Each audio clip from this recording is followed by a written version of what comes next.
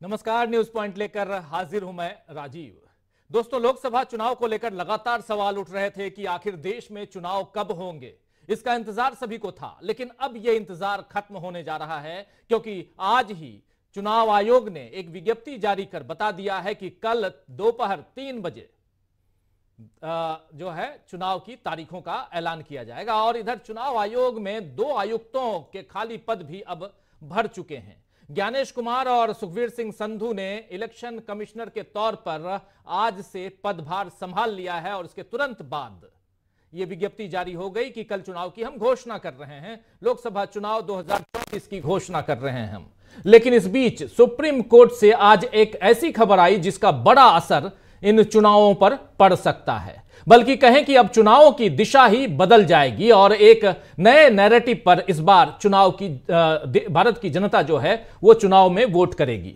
और वो नैरेटिव क्या है, इसके लिए आपको सुप्रीम कोर्ट में आज क्या कुछ हुआ, इस पर ध्यान देना होगा। दरअसल आज इलेक्टोरल बॉन्ड मामले में स्टेट बैंक ऑफ़ इंडिया यानी एसबीआई को सुप्रीम कोर्ट से फिर फटकार पड़ी कि आपने बॉन्ड की जानकारी तो दे दी है लेकिन उसका जो नंबर है उसके, वो नहीं दिए। आखिर ऐसा आपने क्यों किया? यह सरासर ये गुनाह है। चर्चा हो रही थी, यहाँ पर उन्हीं पाँच जजों की जो संवैधानिक पीठ जिसने इस पर चर्चा की थी, उन्होंने ही चर्चा की और और इसके अलावा इनके सामने खड़े थे। दो देश के वरिष्ठतम वकीलों में से जो हैं, वो एक थे प्रशांत भूषण और दूसरे थे कपिल सिब्बल। आप देख रहे हैं प्रशांत भूषण, कपिल सिब्बल और उधर पाँच जजों की पीठ सीजेआई की अध्यक्षता में। आइए जरा सुन लेते हैं सीधे, क्या कुछ वहाँ चल रहा है।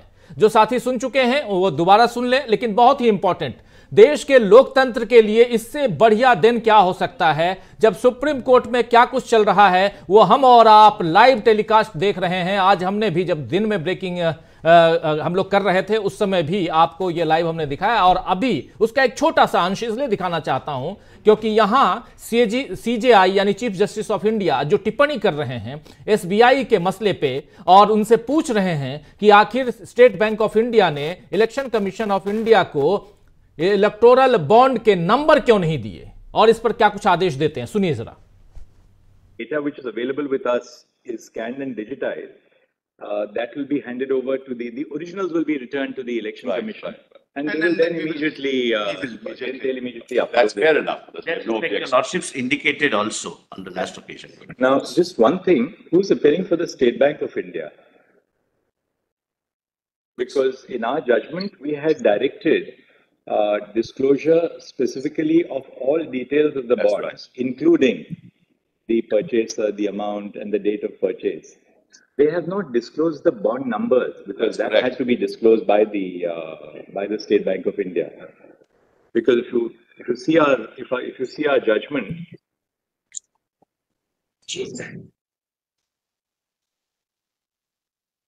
Chip's judgment is quite clear on that. All details. So all details have to be furnished by the State Bank of India. I am for the government. And they had said in their own application that they have the bond numbers, etc. But they said that they were in two different silos. That's right.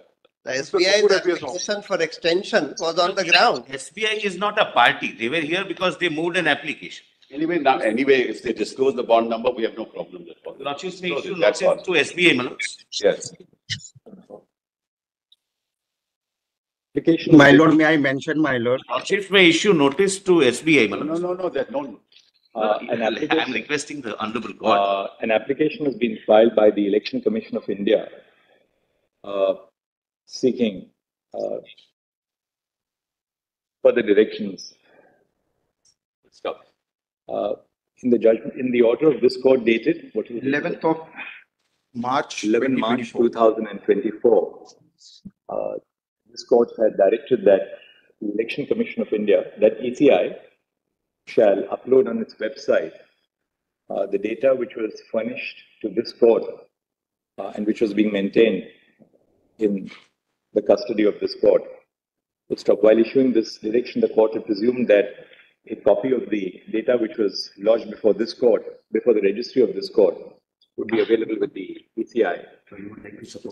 Uh, Mr. Amit Sharma, the learned counsel appearing on behalf of ECI states that as a matter of fact, ECI did not retain any copy of the data which was uh, which which was collated by it, since it was being placed before this court in sealed custody.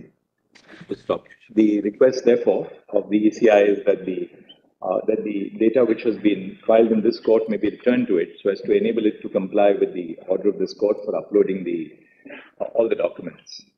Full stop. This request of the ECI has not been opposed either by Mr. Atul Sipal or then senior counsel or Mr. Prashant Bhushan, then counsel. तो आप सुन रहे थे सीधा यहाँ directive जो है Supreme Court के CJI Chief Justice of India DY Chandrachud अपनी बात रख रहे थे। सुप्रीम कोर्ट अब 18 मार्च को, यानी सोमवार को इस मामले पर फैसला सुनाएगा और फिर एसबीआई जब इलेक्टोरल बॉन्ड को नंबरों के साथ मुहैया कराएगा तो फिर इस बात का खुलासा कुछ और तफसील के साथ हो जाएगा कि बीजेपी को किन किन कंपनियों ने कब कब चंदा दिया है और वो भी इलेक्टोरल बॉन्ड खरीद कर बीजेपी खेमे में अब तक इस बात पर सन्नाटा पसरा हुआ है दोस्तों, कि और दूसरी तरफ़ मोदी आज भी इंडिया गठबंधन के स्कैम और अपनी स्कीम्स के बारे में बता रहे हैं। मोदी जी तो शब्दों के घालमेल में बड़े माहिर हैं, आप जानते हैं। वो कह रहे हैं, वो स्कैम करते हैं, हम यहाँ स्कीम्स लॉन्च करते हैं।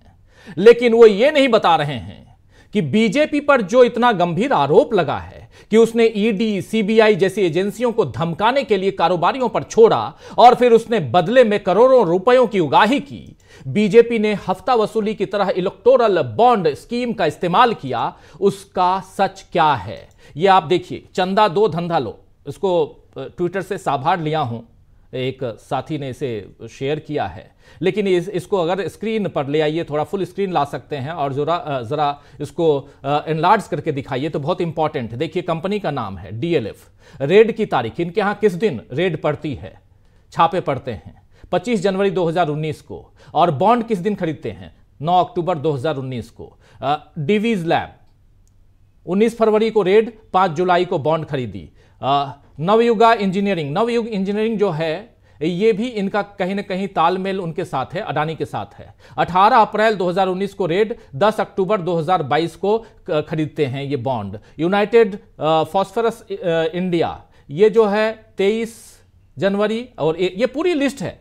कहाँ यशोदा हॉस्पिटल देखिए, आईएफबी एग्रो देखिए हेटेरो ड्रग्स देखिए आप, ऐसे हाल्दिया एनर्जी, जितने भी हैं, जितने भी, सब पूरा का पूरा नीचे डॉक्टर रेड्डी लैब्स तक और शिरडी साई इलेक्ट्रिकल्स तक। सब जगह। रेड की तारीख और बॉन्ड की तारीख से आपको समझ में आ जाएगा कि इसका इसका मतलब क्या है। ये जो हफ़्ता वसूली की बात है, जो कह रही है बीजेपी के ऊपर जो कांग्रेस लगातार या विपक्षी दल लगातार इस बात को रख रहे हैं, आखिर क्यों रख रहे हैं, उसका, आखिर इसका सच क्या है यह जानने का हक तो इस देश की जनता को है।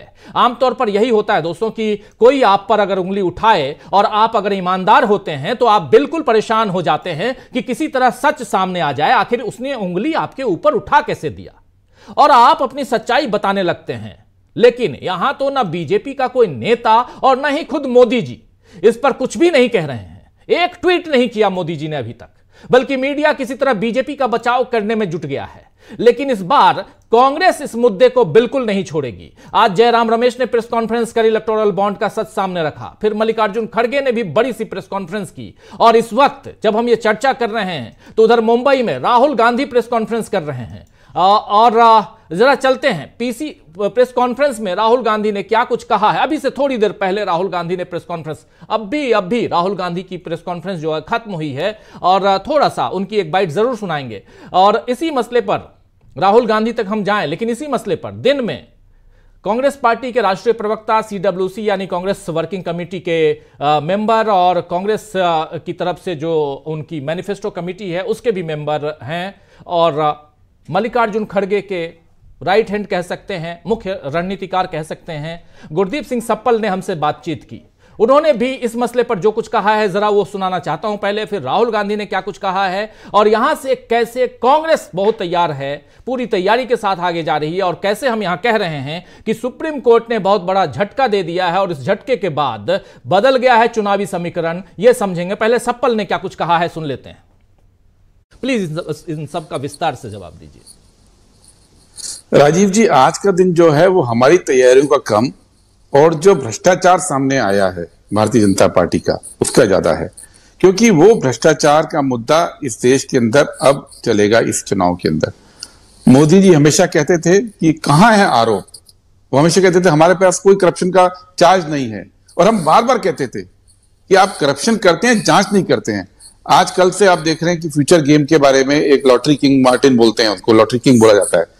तो मार्टिन सबसे बड़े दानदाता हैं। अब आप कहेंगे कि इससे क्या फ़र्क पड़ता है? उन्होंने बीजेपी को दिया होगा, औरों को दिया होगा, और पार्टी को भी मिला होगा। फ़र्क यह पड़ता है कि हमको मालूम था कि वो लॉटरी किंग पैसे देके नियम कानून चेंज करवाना चाहते थे। हमारे कांग्रेस के अध्यक्ष तमिलनाडु के अड़ागिरी जो थे, उन्होंने दिसंबर 2021 को प्रेस कॉन्फ्रेंस करके बाकायदा ये कहा था कि 100 करोड़ रुपया दिया गया भारतीय जनता पार्टी को मार्टिन द्वारा। फ्यूचर गेमिंग द्वारा, जिसके बदले में वो चाहते हैं कि जो बैन का तमिलनाडु की सरकार ने किया था, लॉटरी को, उसका बिल पास किया था, वो पास ना हो, और उसके बाद गवर्नर उस बिल को रोक लेते हैं। आज ये साबित हो गया कि वो लॉटरी किंग कितना पैसा बीजेपी को दे रहे थे। तो आज की जाँच तो करेगा कोई, या इसकी जाँच नहीं होगी। अगर लॉटरी किंग के ऊपर, फ्यूचर गेमिंग के ऊपर, ईडी कार्रवाई करती है 409 करोड़ की संपत्ति अटैच करती है 2 अप्रैल 2022 को। 2 अप्रैल 2022 को उन्होंने संपत्ति अटैच की 409 करोड़ की। और 7 अप्रैल को 100 करोड़ रुपए दे देता है वो बीजेपी को। हम बीजेपी को मान रहे हैं क्योंकि हमको दिया नहीं और किसी पार्टी को दिया नहीं होगा। लेकिन दिया भी होगा किसी और को। तो उसकी जाँच कौन करेगा? आपके ऊपर रेड पड़ती है और आप तीन दिन बाद पैसा देते हैं। और ऐसे बहुत सारे इंस्टेंस हैं जिनके ऊपर रेड तो सुन रहे थे आप, यहाँ कांग्रेस अपना पुरजोर तरीके से कांग्रेस अपनी प्रतिक्रिया यहाँ और इस पूरे मसले पर अपनी बात रखते हुए। अभी से थोड़ी देर पहले राहुल गांधी ने प्रेस कॉन्फ्रेंस की, उससे पहले उन्होंने एक जनसभा को संबोधित भी किया, लेकिन प्रेस कॉन्फ्रेंस मुंबई में, क्या कुछ कह रहे थे राहुल गांधी? जरा सुन लेते हैं उसको भी कुछ साल पहले नरेंद्र मोदी जी ने ये हिंदुस्तान का जो पॉलिटिकल फाइनेंस का सिस्टम है। उसको साफ़ करने की बात की थी। और इलेक्ट्रोल बॉन्ड्स का जो कॉन्सेप्ट है, वो नरेंद्र मोदी जी ने डेवलप किया और उसको इम्प्लीमेंट किया। और कुछ ही दिन पहले इलेक्टोरल बॉन्ड की सच्चाई देश को दिखी है। बेसिकली जो नरेंद्र मोदी जी ने इलेक्टोरल बॉन्ड का कॉन्सेप्ट रखा है, वो दुनिया का सबसे बड़ा एक्सटोर्शन रैकेट है। मैं फिर से कह देता हूँ, दुनिया का सबसे बड़ा नेशनल लेवल का एक्सटोर्शन रैकेट है। कंपनियों से हफ़्ता लेने का तरीका है, कंपनियों से कॉन्ट्रैक्ट्स का शेयर लेने का तरीका है। और शायद सबसे बड़ा दुनिया में सबसे बड़ा भ्रष्टाचार का स्कैम है। इसके सब आंकड़े आपके सामने हैं। पूरी कंपनी की लिस्ट अभी आई नहीं है। इसमें शेल कंपनीज़ हैं। इसमें सीबीआई ईडी से प्रेशर डाल तो सुन रहे थे आप यहाँ राहुल गांधी को दुनिया का सबसे बड़ा स्कैम कह सकते हैं इसको, भ्रष्टाचार का अड्डा हफ़्ता वसूली का ज़रिया, ये तमाम बातें यहाँ राहुल गांधी कहते हुए। तो दोस्तों, कांग्रेस पार्टी ने, कांग्रेस पार्टी के नेताओं ने अपनी बात पुरजोर तरीके से यहाँ रख दी है इलेक्टोरल बॉन्ड के ज़रिए। अब यह समझने की ज़रूरत है कि क्या अब लोकसभा चुनाव का नैरेटिव और चुनाव की दिशा बदल चुकी है। बीजेपी ने चुनावी रथ को अयोध्या की ओर हांकने की कोशिश की थी, आपने देखा जनवरी के महीने में। लेकिन सुप्रीम कोर्ट के कारण चुनावी रथ अब दूसरी दिशा में मुड़ चुका है। क्या इस दिशा में लोकतंत्र का सवेरा इंतज़ार कर रहा है? क्या अब बीजेपी का कमल मुरझाएगा क्योंकि चंदे का सच बाहर आ गया है? क्या अब इंडिया गठबंधन दोगुनी ताकत के साथ चुनावी मैदान में उतरेगा? क्या कांग्रेस अपने सीज खातों के साथ जनता के विश्वास के भरोसे चुनाव लड़ने को तैयार है? इन तमाम सवालों पर दोस्तों आज चर्चा करेंगे हम और हमारे साथ, आइए, जरा कुछ वरिष्ठ साथी जुड़े हुए हैं, उन सबसे आपका पहले परिचय करवाता हूँ, फिर आगे बढ़ते हैं। देखिए, इस वक्त हमारे साथ सात वरिष्ठ साथी जुड़े हुए हैं। हमारे साथ सुनील शुक्ला जी हैं, हमारे साथ प्रेम कुमार जी हैं, प्रशांत टंडन जी हैं, श्रवण गर्ग साहब हैं, अनिल सिन्हा जी हैं, डॉक्टर दीपक पाचपोर जी हैं अमनिंदु उपाध्याय जी हैं। आप सभी का स्वागत है, इस्तकबाल है। स्वागत, इस्तकबाल, आप तमाम दोस्त साथी, शुभचिंतक आप सबका। जो अब तक जुड़ चुके हैं, जो जुड़ने वाले हैं। बहुत बड़ा दिन, और कल तो और भी बड़ा दिन होने वाला है, लेकिन आज इसलिए भी क्योंकि यहाँ से लोकतंत्र की दिशा जो है, उसका पैमाना ज़रा हम नापें, समझें कि आखिर क्या किस दिशा में है। और यहाँ से चुनाव किस दिशा में जाते हुए हम देखेंगे।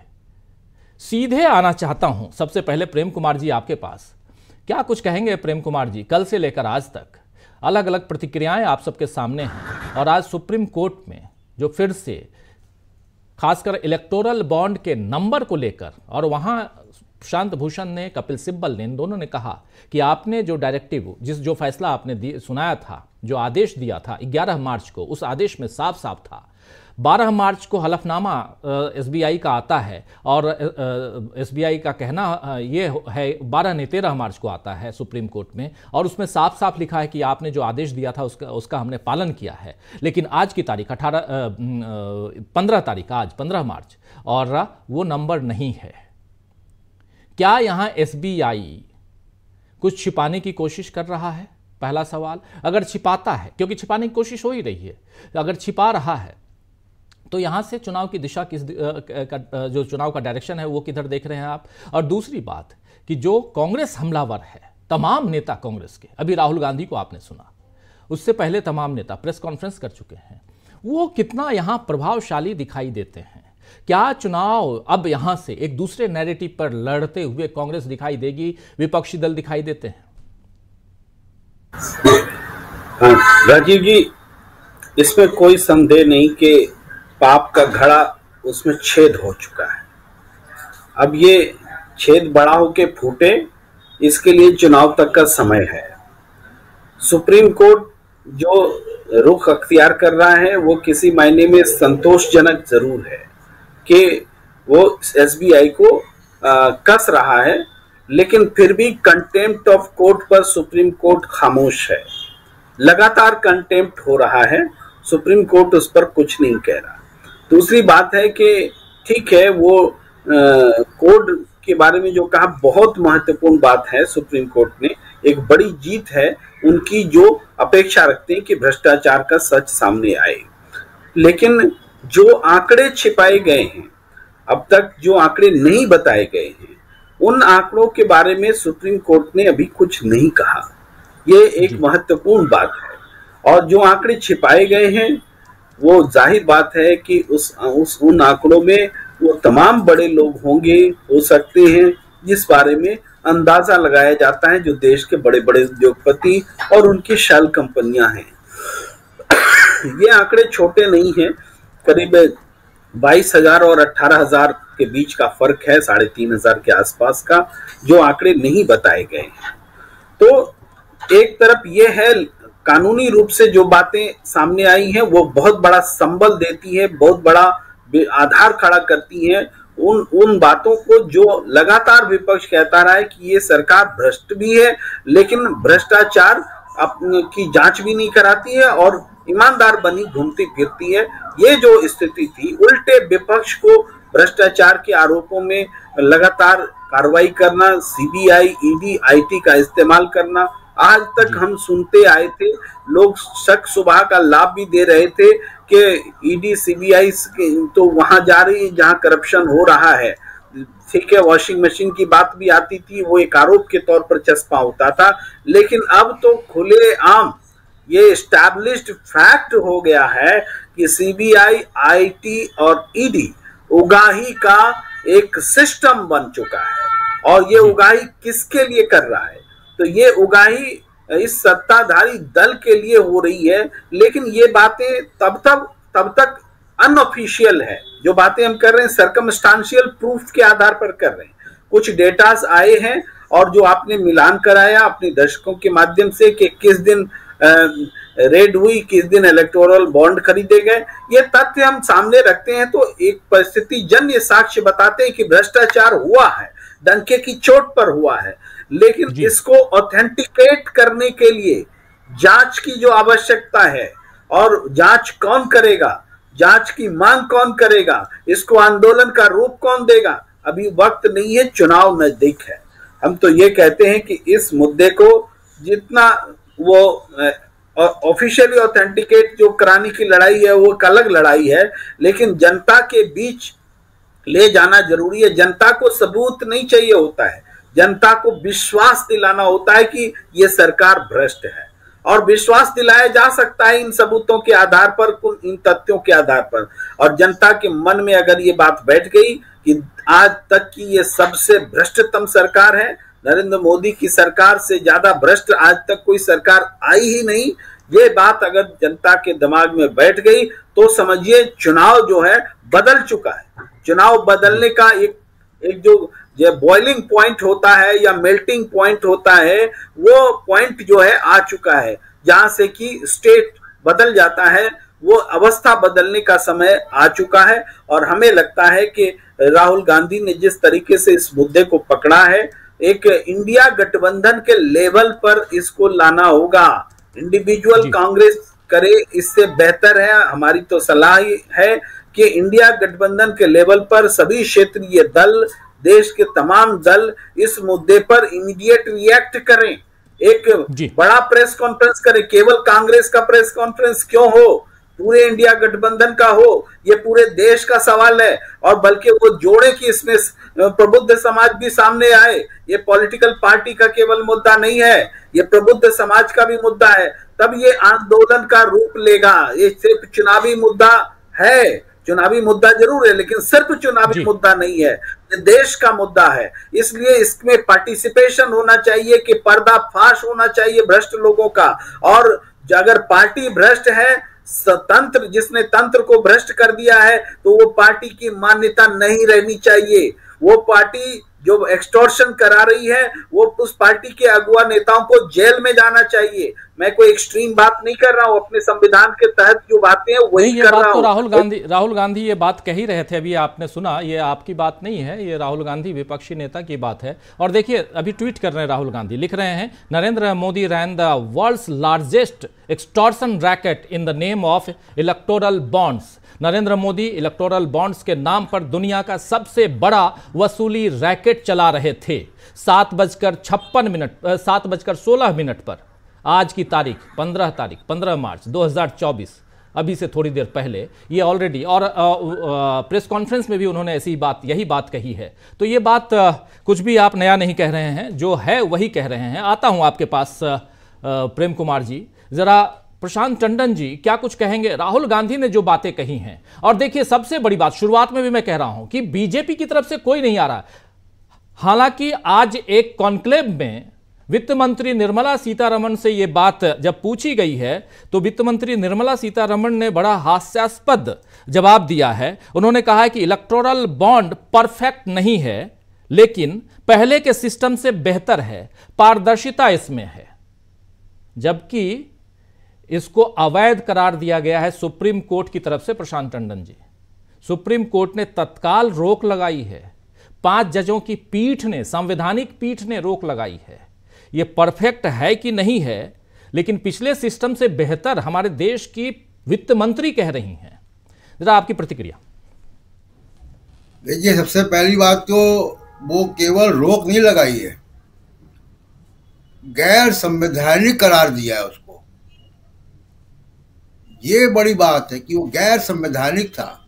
यानी सरकार जो है, संविधान के उल्लंघन में ये काम कर रही थी इतने साल से।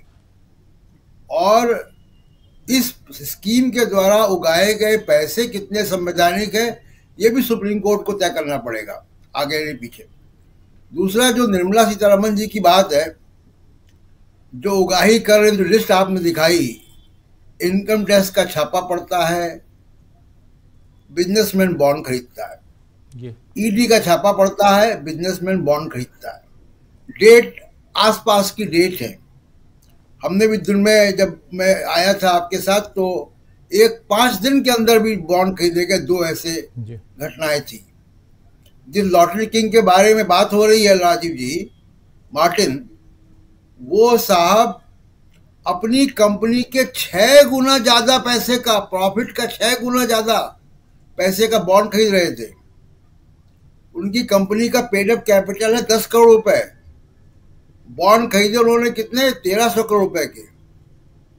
तो क्या वो चंदा देने के लिए भी चंदा ले रहे थे? कौन? किनके पीछे कौन था? जी। तो ये इतना बड़ा घोटाला राजीव जी है इलेक्शन अनाउंस होने के एक दिन पहले जब हम बात कर रहे हैं ये दुनिया का सबसे बड़ा घोटाला राहुल गांधी जो बात कह रहे हैं सौ फ़ीसद सच है कि लोकतंत्र को हाईजैक करने का घोटाला है ये। जी। केवल पब्लिक मनी की लूट नहीं है। उस लोकतंत्र को जिसको तमाम कुर्बानियाँ दे के बनाया गया जो अचीव किया हमारे दोस्त ने उसको हाईजैक करने का पूरा का पूरा ये स्कीम चल रही थी। इसलिए सुप्रीम कोर्ट ने इसको गैर संवैधानिक कहा है। दूसरी बात देखिए कल दोपहर के तीन बजे के बाद से मोदी साहब केयर टेकर प्रधानमंत्री रह जाएँगे। मॉडल कोड ऑफ़ कंडक्ट लागू हो जाएगा कल से। जी बिल्कुल। दोपहर के तीन बजे के बाद से। और उसके बाद हम देखेंगे कि इसका जो राजनीतिक पहलू है वो कल से आपको दिखाई देना शुरू होगा। लेकिन मैं अपने तजुर्बे से राजीव जी बता सकता हूँ कि इलेक्शन की शाम, इलेक्शन के पहले इतना बड़ा घोटाला अगर सामने आता है देश भर का, भले ही आपने मीडिया का बड़ा सेक्शन अपने खरीद रखा है, लेकिन कुछ काम नहीं आएगा। इलेक्शन का एजेंडा तय हो चुका है। अब इसी पे इलेक्शन होगा। वो इलेक्शन के बाद क्या होगा? वो राहुल गांधी कई बार तय कर चुके हैं युवाओं का लेकर और सारी बातें हम लोगों के सामने है। किसानों का मुद्दा है, युवाओं का मुद्दा है, जनसंख्या, वो जाति जाति व जनगणना का मुद्दा है, सामाजिक न्याय के मुद्दे वो हम देख चुके हैं। वो एजेंडा सामने है। लेकिन इस वक्त सबसे बड़ा एजेंडा लोकतंत्र को हाईजैक करने का, दुनिया का सबसे बड़ा वसूली रैकेट चलाने का है। अब इसमें सुप्रीम कोर्ट को पहली बात कोई जो बात प्रेम कुमार जी कह रहे थे, बिल्कुल। ये विलफुल डिफाइंस है। जानबूझकर सुप्रीम कोर्ट के आदेश की अवहेलना की है सुप्रीम स्टेट बैंक ने। और मुझे लगता है कि आज नहीं, कल सुप्रीम कोर्ट ने बहुत मौके दे दिए स्टेट बैंक को। अवमानना का मामला सामने आएगा ही आएगा। लेकिन कुल मिला के राजीव जी इतना ही कहूँगा कि ये इलेक्शन का एजेंडा यहाँ से तय हो चुका है। मोदी जी की भाषण देने की कला मीडिया कॉरपोरेट जो अभी सामने हमारे सामने हो गया एक्सरे कॉरपोरेट का हमारे सामने है ये अब कुछ काम नहीं आएगा। बहुत से लोग राजीव जी बोफोर्स के समय भी तमाम कांग्रेस के लोग कहते थे कि बोफोर्स किसी को समझ में नहीं आएगा। और कैसा लोगों को समझ में आया? तो इलेक्ट्रल बॉन्ड भी देश की जनता को समझ में आ गया है। और स्टेट बैंक और ईडी इस मामले में बिल्कुल एक्सपोज हो चुके हैं। जी।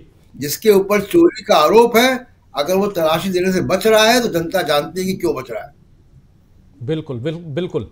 आता हूँ। जल्दी से सुनील शुक्ला जी आपके पास आना चाहता हूँ। फिर गर्ग साहब को सुनेंगे। और बहुत सारी बातें आप लोगों से समझनी हैं। क्या सुनील जी यहाँ से हम नैरेटिव को चेंज होते हुए देख रहे हैं। क्या हम यहाँ से चुनाव, जिसकी मतलब आप, आज पूर्व संध्या है और कल चुनाव की घंटी बजने वाली है। और यहाँ से क्या हम चुनाव को भी एक, की जो दिशा है, वो बदलते हुए देख रहे हैं। क्या कुछ आप देखते हैं? क्योंकि ये बहुत ही एक ऐसी ऐसा मुद्दा है जिसमें राहुल गांधी साफ़ कर रहे हैं एक्सटोर्सन वसूली रैकेट की बात कर रहे हैं। छोटी मोटी बात नहीं है। और चीज़ें तो सामने दिखाई दे रही हैं। लिस्ट है कुछ उसमें से कुछ कुछ नाम हम लगातार पेश कर रहे हैं आप लोगों के सामने। धन्यवाद राजीव जी। यह मुद्दा किस तरह से चुनाव में प्रमुख होगा वो जो आपने राहुल गांधी का ट्वीट दिखाया सात बज के सोलह मिनट का वो ट्वीट है। और कितने व्यूज़ हो गए हैं उसको भी आप पढ़ लीजिए। यह अपने आप में बताता है कि देश में किस तरह का चिंतन चल रहा है। यह इतनी बड़ी लूट है कि यह अब देखिए आप व्यूज़ देख लीजिए तेरह थर्टीन पॉइंट थ्री की। जी। यह मुश्किल से कुछ मिनट मैंने मिनटों के भीतर है। बिल्कुल। अगर देश के लोग देश के लोग इस तरह से 10 मिनट के भीतर इस मुद्दे को इतने गंभीरता से ले रहे हैं तो आप कल्पना कर सकते हैं कि नीचे डाउन द लाइन किस तरह का मैसेज जा रहा है। क्या आप कि, कोई किसी सरकार से आप जो सरकार भ्रष्टाचार खत्म करने के नाम पर आई थी वो भ्रष्टाचार में शामिल है? वो जो सरकार काला धन खत्म करने के नाम पर आई थी, वो काला धन को बढ़ावा दे रही है। अगर कोई अगर कोई कंपनी अपने बैलेंस शीट में कुछ रुपयों का, कुछ सैकड़ा रुपयों का, कुछ लाख रुपयों का लाभ दिखाती है और करोड़ों रुपए दे देती है वो चंदे के रूप में तो ये ब्लैक मनी तो और आप लगातार लेते चले जा रहे हैं। क्या उन कंपनियों का बैलेंस शीट आपके पास नहीं है? क्या उन कंपनियों का लेखा जोखा आपके पास नहीं है? सब कुछ आपके पास है। और क्या कोई घाटे में चलने वाली कंपनी किसी को चंदा दे सकती है जो अपने कर्मचारियों को पैसा देने के लिए तैयार नहीं है? उनका वेतन नहीं दे पा रही है। जो कंपनी अपने ग्राहकों को कोई राहत देने के लिए तैयार नहीं है वह कंपनी करोड़ों रुपया चंदा दे देती है और सरकार ले लेती है उसको। उनको मजबूर किया जाता है। कोई मेरे मेरे एक सामान्य नागरिक के रूप में मुझे समझ में नहीं आता कि कोई अस्पताल कैसे करोड़ रुपए दे सकता है चंदा। कि किस तरह की वसूली है ये? सरकार किस तरह की वसूली कर रही है? अब और आप लगातार इन चीज़ों को बढ़ावा दे रहे हैं। इसमें आप ये देखिए जो 20 बड़ी कंपनियों का नाम अभी तक आया है वो सभी कंपनियाँ इन सभी कंपनियों का कामकाज सरकार के भरोसे चलता है।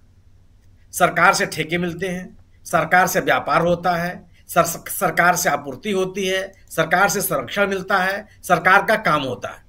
इसमें कोई भी उत्पादन करने वाली कंपनी नहीं है। आप मेगा मेगा इंजीनियरिंग की बात कर लीजिए आप। मैं मुझे याद है वो घटना याद है सम्मानित नितिन गडकरी साहब संसद में भाषण दे रहे थे और उन्होंने था कहा था कि एक टनल कोई बन रही है मुंबई से साथ पुणे के लिए उसपे पाँच हज़ार या पचास हज़ार करोड़ रुपए का ठेका दिया गया मेगा इंजीनियरिंग को। उसके कुछ ही समय पहले मेगा इंजीनियरिंग ने इनको चंदा दिया हुआ है। ये रिकॉर्ड में है। ये ऐसा नहीं है। और यही मेगा इंजीनियरिंग जिसके खिलाफ आईटी ने रेड किया। अब देखिए आपने दिखा दिया इनको। ये चौदह हज़ार चार सौ करोड़ थाने बोरी ट्विन टनल प्रोजेक्ट इसके पहले इसके पहले इनके यहाँ रेड होती है इनकम टैक्स की। इनकम टैक्स इनसे इनका इनकी संपत्ति जब्त करता है। उसके बाद जितनी जांची कार्रवाई ठप हो जाती हैं। आप वो जो लॉटरी वाले सज्जन हैं उनका उनकी क्या स्थिति? उनके यहाँ इनकम टैक्स रेडी की रेड होती है। छह सौ Future Gaming and Hotel Service PR. एक हज़ार तीन सौ जिनकी संपत्ति पूरे इनके पास नहीं है। इनकी संपत्ति जब्त होती है इनके यहाँ ईडी छापा डालती है इनके खिलाफ जो ये चंदा दे देते हैं उसके बाद ये सभी कार्रवाई रुक जाती है। और आप ईडी और इनकम टैक्स के छापों की तिथि देखिए आप। जो इलेक्ट्रल बॉन्ड है वो पूरे साल भर नहीं बिकता। उसकी समय अवधि घोषित होती है। समय अवधि घोषित होने के तत्काल बाद तमाम कंपनियों पर ईडी और सीबीआई और इनकम टैक्स के छापे शुरू हो जाते हैं। और वो सभी कंपनियाँ खटाखट खरीदती हैं ये बॉन्ड और वो राजनीतिक दलों को दे देती हैं। सवाल है कि किन राजनीतिक दलों को देंगे ये? जिनसे उनको संरक्षण जो ईडी से बचना चाहेगा वो समाजवादी पार्टी को चंदा थोड़ा देगा। जिसको सीबीआई से बचना है वो राष्ट्रीय लोक चंदा नहीं देगा। सु, सुनील शुक्ला जी फ्यूचर गेमिंग जिसका ज़िक्र आप कर रहे थे दो अप्रैल को इनके यहाँ रेड की तारीख जो है 2 अप्रैल 2022 है और बॉन्ड खरीदी की तारीख जो है वो है 7 अप्रैल 2022 पाँचवें दिन। जी। पाँचवें दिन बॉन्ड खरीद लेते हैं। और कितना खरीदते हैं? देख लीजिए नंबर वन पे। रा, राजीव जी 9 अप्रैल को इनकैश हो गया है वो। ये देखिए न्यूज़ इंडिया टुडे की न्यूज़ देखिए। ये देखिए आप। तो अब चार सौ नौ करोड़ रुपए की संपत्ति अटैच होती उसके बाद जब आप इनको पैसा मिल जाता है फिर कोई जाँच नहीं होती। कोई चार्जशीट दाखिल नहीं होती, कोई गिरफ्तारी नहीं होती। मनीष सिसोदिया गिरफ़्तार किए जा सकते हैं, हेमंत सोरेन गिरफ़्तार किए जा सकते हैं। आप इन कंपनियों के ऊपर दबाव, मैंने इनकी बाह ऐड करके इनसे पैसा वसूल कर रहे थे और राजनीतिक दलों पर छापा डाल करके उनके, उन पार्टियों को आप तोड़ रहे थे। ये लोकतंत्र है। आप चाल चरित्र चेहरे के नाम पर अपने आप को बताते हैं कि हम पार्टी विद डिफरेंस लोग हैं। आप ये दे, और पाकिस्तान और चीन का जो नाम ले ले वो देशद्रोही है। और पाकिस्तान बेस्ड कंपनी से आप चंदा ले रहे हैं। जी। आप इस कोई रोक नहीं आप किसी कि, किसी के पास। आपने इस देश के संप्रभुता के साथ खिलवाड़ किया। इस देश की आर्थिक आज़ादी के साथ खिलवाड़ किया। इस देश के लोकतांत्रिक मूल्यों के साथ खिलवाड़ किया। इस देश के संविधान के साथ आपने खिलवाड़ किया।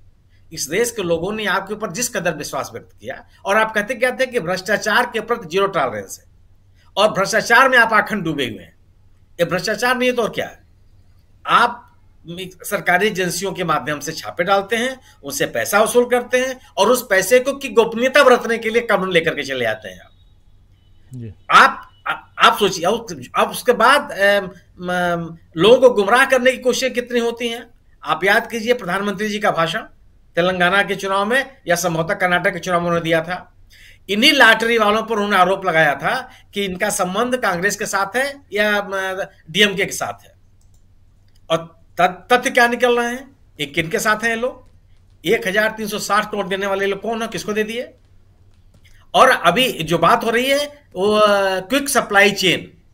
Quick Supply Chain जिस व्यक्ति का है वो रिलायंस कंपनी का डायरेक्टर है। जो बात कर कही जा रही है कि साहब इसमें तो अडानी और अंबानी का नाम नहीं है। या उस या ये, ये, ये कंपनियाँ अभी सेल कंपनियों का नाम आएगा। ये तो वो कंपनियाँ जो रजिस्टर्ड हैं जिनके काम धंधे पे कुछ है। मेरे जैसा आदमी समझ नहीं पाता। तो ये जो टोरेंड्रो कंपनी है बिजली वाली प्राइवेट कंपनी आप याद कीजिए पूर्वी पश्चिम उत्तर प्रदेश हमारे ख्याल से जिस इलाके में आप रहते हैं वहाँ भी बिजली सप्लाई बिजली वसूली का काम ही करती है। इसके खिलाफ तमाम उपभोक्ताओं ने प्रदर्शन किया। तमाम उपभोक्ताओं ने प्रदर्शन किया कि साहब इनका काम काज ठीक नहीं है इनका मीटर लगाने का काम ठीक नहीं है बिलिंग का काम ठीक नहीं है लेकिन कोई सुनने के लिए तैयार नहीं था। अब समझ में आ रहा है क्यों नहीं सुनने के लिए तैयार थे आप? आप ला, लाखों रुपए करोड़ रुपए आप इसे चंदा ले रहे हैं। जी। और आप इनको लाभ पहुँचा रहे आप मतलब चंदा लेने के बाद स्थिति है कि चंदा लेने के बाद आप इनको धंधा इनका धंधा चला रहे हैं।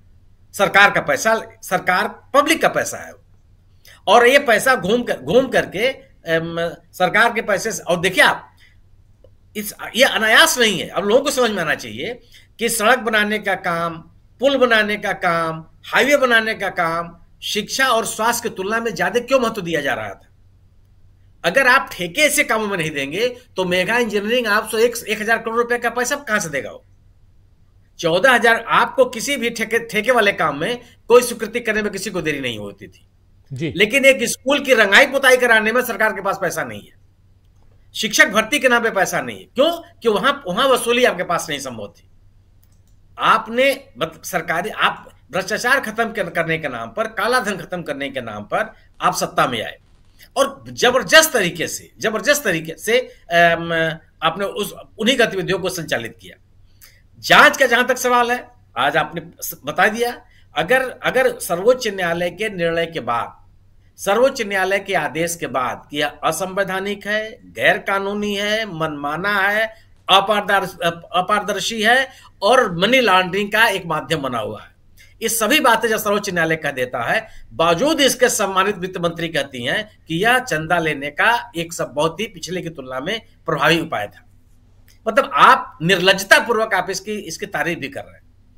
सर्वोच्च न्यायालय के द्वारा अवैध घोषित किए जाने के बाद तो सरकार का रवैया आपके सामने साफ़ है। और यह यह यह यह मुद्दा इस इस देश का नागरिक इस कोई भी भ्रष्टाचार को स्वीकार नहीं कर सकता। आज तक अभी तक 2014 चाहे 2019 से चाहे 2022 में जो जन समर्थन मिलता रहा है उसके पीछे केवल ही बात चलती थी कि मेरे ऊपर कोई भ्रष्टाचार का आरोप नहीं है। हम कोई भ्रष्टाचार नहीं करते। भ्रष्टाचार हमारे ज़ीरो ज़ीरो टॉलरेंस का विषय है और लोगों ने इससे विश्वास किया। लेकिन अब अब इसमें अब इसको एक कोई न्यूक्लियर साइंस नहीं है। आपने खुद बता दिया कि इस तारीख को रेड हुआ इस तारीख को बांड खरीदा गया और इस तारीख को इनकैश हो गया। अब सबके समझ में बात आ रही है कि आप ये पैसा किसको दिया गया है और क्यों दिया गया? और उस, उसके अभी अब जो एसबीआई का जो नाटक चल रहा है एस आज भी SBI ने कितने किस तरह से बचने की कोशिश की? कि आज एसबीआई की सुनवाई है और उसका एडवोकेट कोर्ट में मौजूद नहीं है। और यह बचाने का तरीका देखिए आप कि इस देश के सबसे बड़े न्याय अधिकारी उन्होंने कहा कि आप आदेश मत पारित कीजिए उनको नोटिस दे दीजिए। यानी सरकार किस तरह से पूरे मामले के लिपापोती में लगी हुई है? मेरा मेरी अपनी समझ है कि सर्वोच्च न्यायालय अगर कोई इसमें पहल करता है जिस तरह के उसने टू, टू जी वाले मामले में एक एसआईटी गठित की अपनी देख रेख में उस तरह की पहल करे तो इसका यह यह और गंभीर मामला निकलेगा। और अभी जो मामले जिस जिनका उल्लेख किया गया है सर्वोच्च न्यायालय में कि ये तथ्य सामने नहीं आए हैं उसमें और नाम आएँगे कि वो कौन सी सेल कंपनियाँ हैं किन किन और यह तो अभी सब व्हाइट मनी है। जो उस, कितना रुपया अभी नगद दिए गए होंगे वो बड़ा बहुत बड़ा सवाल है। और और लोगों को विश्वास का इसलिए खतरा नहीं है जो जिस तरीके से भारतीय जनता पार्टी ने अपने अपने इस्टेब्लिशमेंट को मज़बूत किया है। जिस तरीके से पैसा वहाँ दिख रहा है सबको समझ में आ रहा है कि पैसा कहाँ से आ रहा है। एक तरफ़ अन्य राजनीतिक दल है मतलब सबसे बड़ी पार्टी कांग्रेस को आप मान लीजिए। उन्नीस से लेकर के 2019 तक कोई ऐसा चुनाव नहीं हुआ है जिसमें यह पार्टी 90 करोड़ या पंचानवे करोड़ रुपए से ज़्यादा पैसा खर्च की हो। इस देश की सबसे पुरानी पार्टी है। और 2014 से लेकर के 2019 2022 इन तीनों चुनावों में कोई ऐसा चुनाव नहीं है जिसमें भारतीय जनता पार्टी 400 करोड़ से ज़्यादा रुपए ने खर्च की हो जो उसे डेटा दिया है इलेक्शन कमीशन इसमें कोई तो बौद्धिक बात करने की ज़रूरत नहीं जो डेटा दिया हुआ है। पैसा कहाँ से ला रहे हैं आप? ये किस तरह से अगर आप अगर अगर इस तरह से पूंजीपतियों का पैसा होगा आपने नियम को बदल दिए? इस एक इसी देश का नियम था कि किसी भी औद्योगिक घराने को किसी भी कंपनी को किसी निजी व्यक्ति को दो से अधिक एयरपोर्ट नहीं दिए जाएँगे रख रखाव के लिए। इस देश के लोगों ने इस देश के राजनेताओं ने इस देश के नायकों ने पूंजी के संग्रह को रोकने की कोशिश की। इस लोगों ने पूंजीपतियों का राजनीति में हस्तक्षेप रोकने का प्रयास किया। पूंजी के असर को रोकने की कोशिश की और आपने दरवाज़ा खोल कर रख दिया कि आप आओ पैसा दो और सरकार तुम्हारे कहने से चलेगी। ये देश के लोगों के कहने से सरकार नहीं चल रही बहुत बड़ा घोटाला है और मुझे लगता है कि इसका असर इस ये, ये चुनाव का प्रमुख मुद्दा होगा। और कहीं नहीं कांग्रेस ने इस पर बोला है कांग्रेस ने बोला है आरजेडी ने बोला है समाजवादी पार्टी बोली है सभी सभी राजनीतिक दल बोल रहे हैं। बिल्कुल। बीजेपी के समर्थक दलों को छोड़ करके सभी सभी राजनीतिक दल बोल रहे हैं और लगाते लगातार बोल रहे हैं और बड़े पैमाने पर उसको देखा और सुना भी जा रहा है। जी। जी बिल्कुल। लेकिन बड़ा सवाल यह है कि छोटी छोटी बातों पर ट्वीट करने वाले प्रधानमंत्री नरेंद्र मोदी इस मसले पर ट्वीट क्यों नहीं कर रहे हैं? बिल्कुल वैसे ही खामोशी छाई हुई है, जैसे मणिपुर के मसले पे छाई हुई थी और अभी तक छाई हुई है मणिपुर के मसले पे। हालाँकि अब चुनाव है वहाँ भी। लोकसभा का चुनाव तो होना ही है। आना चाहता हूँ, श्रवण गर्ग साहब आपके पास। जरा आपसे भी समझूं, कल से लेके आज तक, लेकिन अब आज से कल और जिस दिशा में चुनाव को हम देखेंगे, कल चुनाव की घोषणा होगी, उससे पहले क्या विपक्ष के सामने एक बहुत ही शानदार मौका है? क्या विपक्ष अब इस नैरेटिव को आगे बढ़ाने की कोशिश करेगा, जिसे राहुल गांधी यहाँ कह रहे हैं कि ये अवैध वसूली का रैकेट है। ये वसूली रैकेट है, जो कह रहे हैं राहुल गांधी। तमाम कांग्रेस के नेता इस बात को कह रहे हैं और कांग्रेस के नेता ये भी कह रहे हैं कि मात्र चौदह लाख रुपए जो हमारे सांसदों ने, विधायकों ने अकाउंट में दिया था, उसकी अकाउंटिंग करने में और देने में हमको कुछ दिन लग गए। उसके कारण हमारे पैसे 210 करोड़ रुपए का अकाउंट को सीज कर लिया गया, उसमें से 135 करोड़ रुपए पहले सीज किया गया और आज ही 50 करोड़ रुपए और सीज कर लिए गए हैं। लगभग 200 करोड़ रुपए उनके सीज हैं और उनके पास अब चुनाव लड़ने के लिए पैसे नहीं हैं। दूसरा कुछ और ज़रिया वो, जो बॉन्ड हैं या जो उनके फिक्स डिपॉजिट्स हैं, उसको तोड़वा के वो चुनाव लड़ेंगे। तो क्या यहाँ से, और इसके साथ साथ अब यह कहना है जो अभी सुनील शुक्ला जी कह रहे थे, कांग्रेस का कहना है कि इसकी जाँच हो और बीजेपी के अकाउंट भी सीज हों। यहाँ बहुत बड़ा घोटाला है। इस घोटाले की जाँच हो जाए, दूध का दूध, पानी का पानी हो जाए, तभी अकाउंट जो है वो ओपन किए जाएँ। ये मतलब एक अलग लड़ाई, कोर्ट की लड़ाई वो शुरू होने वाली है, लेकिन साथ साथ जो जमीनी लड़ाई है, उसमें इस पूरे मसले को कहाँ तक जाते हुए और इससे कितना बेनिफिट देश की जनता को, विपक्ष को और आने वाले चुनाव में नैरेटिव के रूप में कैसे देखा जाए? राजीव जी, देखिए, आपने कहा कि बीजेपी चुप है, बीजेपी में सन्नाटा है। बात बात में ट्वीट करने वाले प्रधानमंत्री चुप हैं। मैं आपसे रिक्वेस्ट करता हूँ कि पीएम की तरफ़ से आप एक ट्वीट बना के जारी कर दीजिए। कि उनको क्या कहना चाहिए? या बीजेपी को क्या कहना चाहिए इस पूरे मसले पर? क्या बीजेपी के पास या प्रधानमंत्री के पास कुछ कहने को है क्या इस पर? तो क्या कह सकते हैं? क्या वो सुप्रीम कोर्ट का स्वागत करेंगे फैसले का? सुप्रीम कोर्ट ने जब वोट फॉर नोट और नोट फॉर वोट का जब फैसला दिया, तब प्रधानमंत्री ने ट्वीट करके स्वागत किया था कि इससे राजनीति में स्वच्छता, शुचिता का, की स्थापना होगी। आप क्या समझते हैं कि प्रधानमंत्री इतने साहसी हैं कि वो सुप्रीम कोर्ट ने जो किया है, उसका स्वागत करेंगे? वो बताएँगे कि उनकी छप्पन इंच की छाती जो है वास्तव में छप्पन इंच की है, एक सौ छप्पन इंच की है। हम प्रधानमंत्री और बीजेपी से गलत उम्मीद कर रहे हैं। जो मेघा इंजीनियरिंग है, जो दूसरे नंबर की कंपनी है, जिसने इतने बड़े बड़े घपले किए हैं,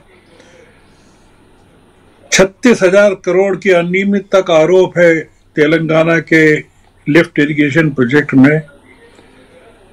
उसका एक वीडियो वायरल हो रहा है जिसमें गडकरी साहब संसद में उसकी तारीफ़ कर रहे हैं, कंपनी की, डिफेंड कर रहे हैं उसको। वो बता रहे हैं कि ये कितनी बढ़िया कंपनी है। क्या मांग की जाएगी कि गडकरी ने देश को धोखा दिया? गडकरी को हम लोग आँखों पर बिठा रहे थे पलकों पर बिठा रहे थे, उनको सबसे ईमानदार और प्रधानमंत्री पद का उम्मीदवार बता रहे थे।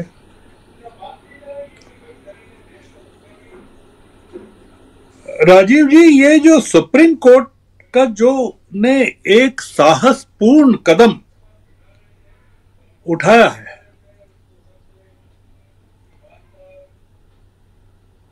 ये देश को के लोकतंत्र के लिए जो सबसे बड़ा हथियार विपक्ष के हाथों में सौंपा है।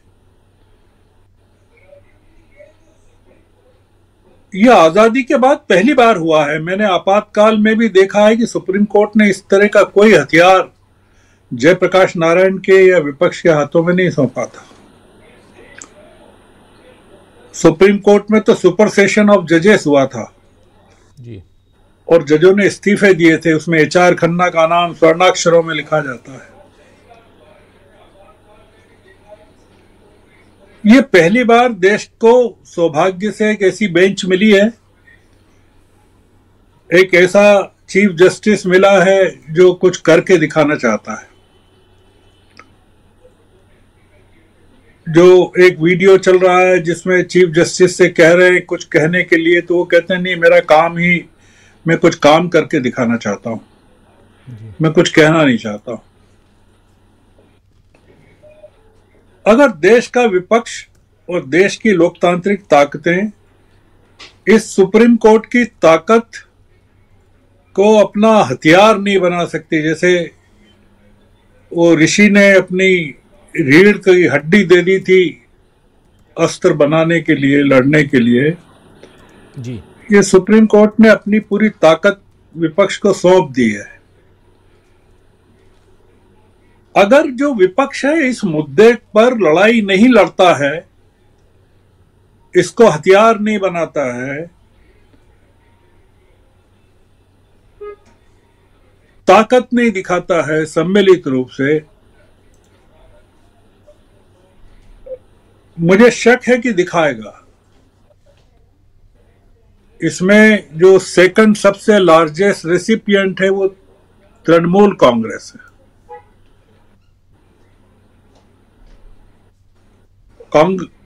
ऑल इंडिया कांग्रेस नहीं है।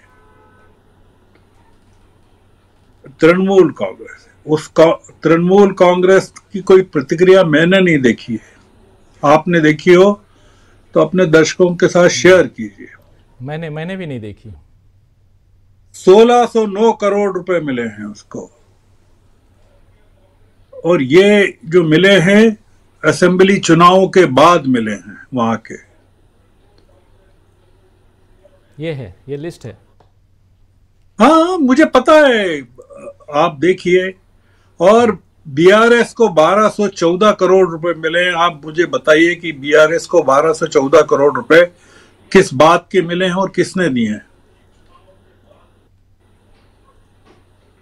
प्रेम कुमार जी कह रहे हैं कि सब सारे दलों को लड़ना चाहे, नहीं लड़ेंगे सारे देश।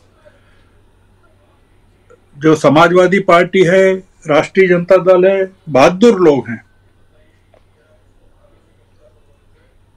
राहुल गांधी बहादुर आदमी है, वो लड़ेगा इस लड़ाई को।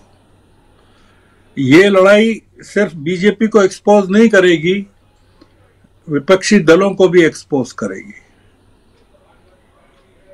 पूरी राजनीति को एक्सपोज करेगी। राहुल गांधी संसद में क्या मांग कर रहे थे? जिसके कारण उनका भाषण एक्सपंज हुआ, उनको निकाला गया, वो क्या कह रहे थे? वो ये कह रहे थे, पूछ रहे थे कि सरकार के पूंजीपतियों के साथ रिश्ते क्या है? अडानी के साथ रिश्ते क्या है? वो पूछ रहे थे कि शेल कंपनियाँ कौन सी हैं? वो पूछ रहे थे कि बीस हज़ार करोड़ रुपया किसका है? सुप्रीम कोर्ट ने एसबीआई के ज़रिए देश को बता दिया कि इस देश को कौन चला रहा है। इस देश को नरेंद्र मोदी नहीं चला रहे हैं।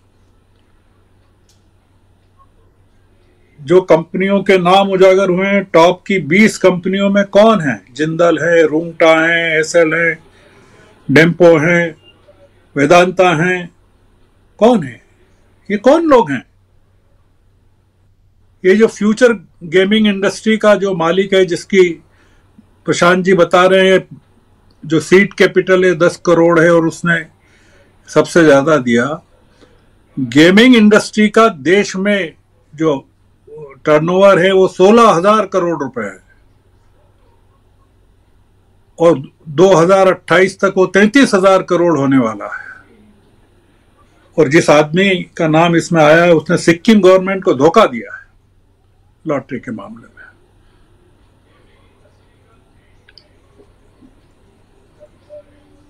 तो ये जो पूरा का पूरा एक्सपोजर है, वो ये है, ये चंदे का एक्सपोजर नहीं है।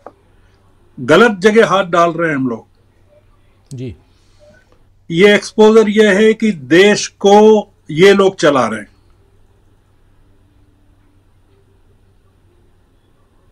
ये लोग हवाई जहाज़ मुहैया करवा रहे हैं जिसमें घूमे ये लोग। ऐश करें। जो चंदा मिला है इन कंपनियों का बॉन्ड्स का उसमें से क्या उजागर हुआ है? बीजेपी को इस टोटल अमाउंट का एक तिहाई चंदा। 2019 के लोकसभा चुनाव का ल, चुनाव लड़ने के लिए 2019 का। और मध्य प्रदेश छत्तीसगढ़ राजस्थान के विधानसभा चुनाव लड़ने के लिए मिला है। जी।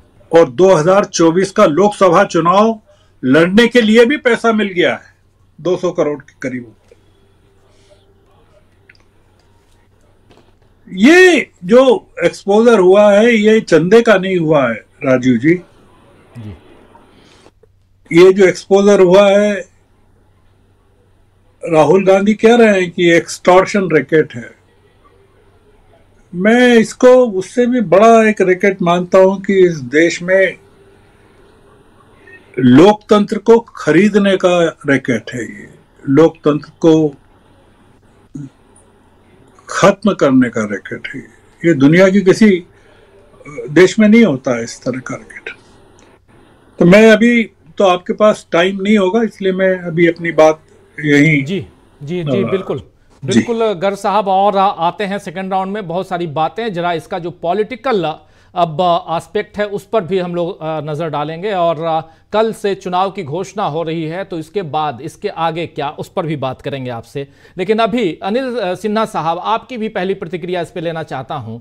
कल से लेकर आज तक, जो चीज़ें हो रही हैं, उसमें कहीं ना कहीं बहुत सारे खुलासे हैं, लेकिन उन खुलासों के बीच, क्या यहाँ विपक्ष को आप मज़बूत पाते हैं? और क्या यहाँ से कहीं ना कहीं बीजेपी जो अलग अलग नैरेटिव के साथ चुनाव में है चाहे वो राम मंदिर की बात हो, चाहे 370 की बात हो, अब सी की बात हो, और उसके साथ साथ एक बहुत बड़ी बात कि देश सुरक्षित हाथों में है।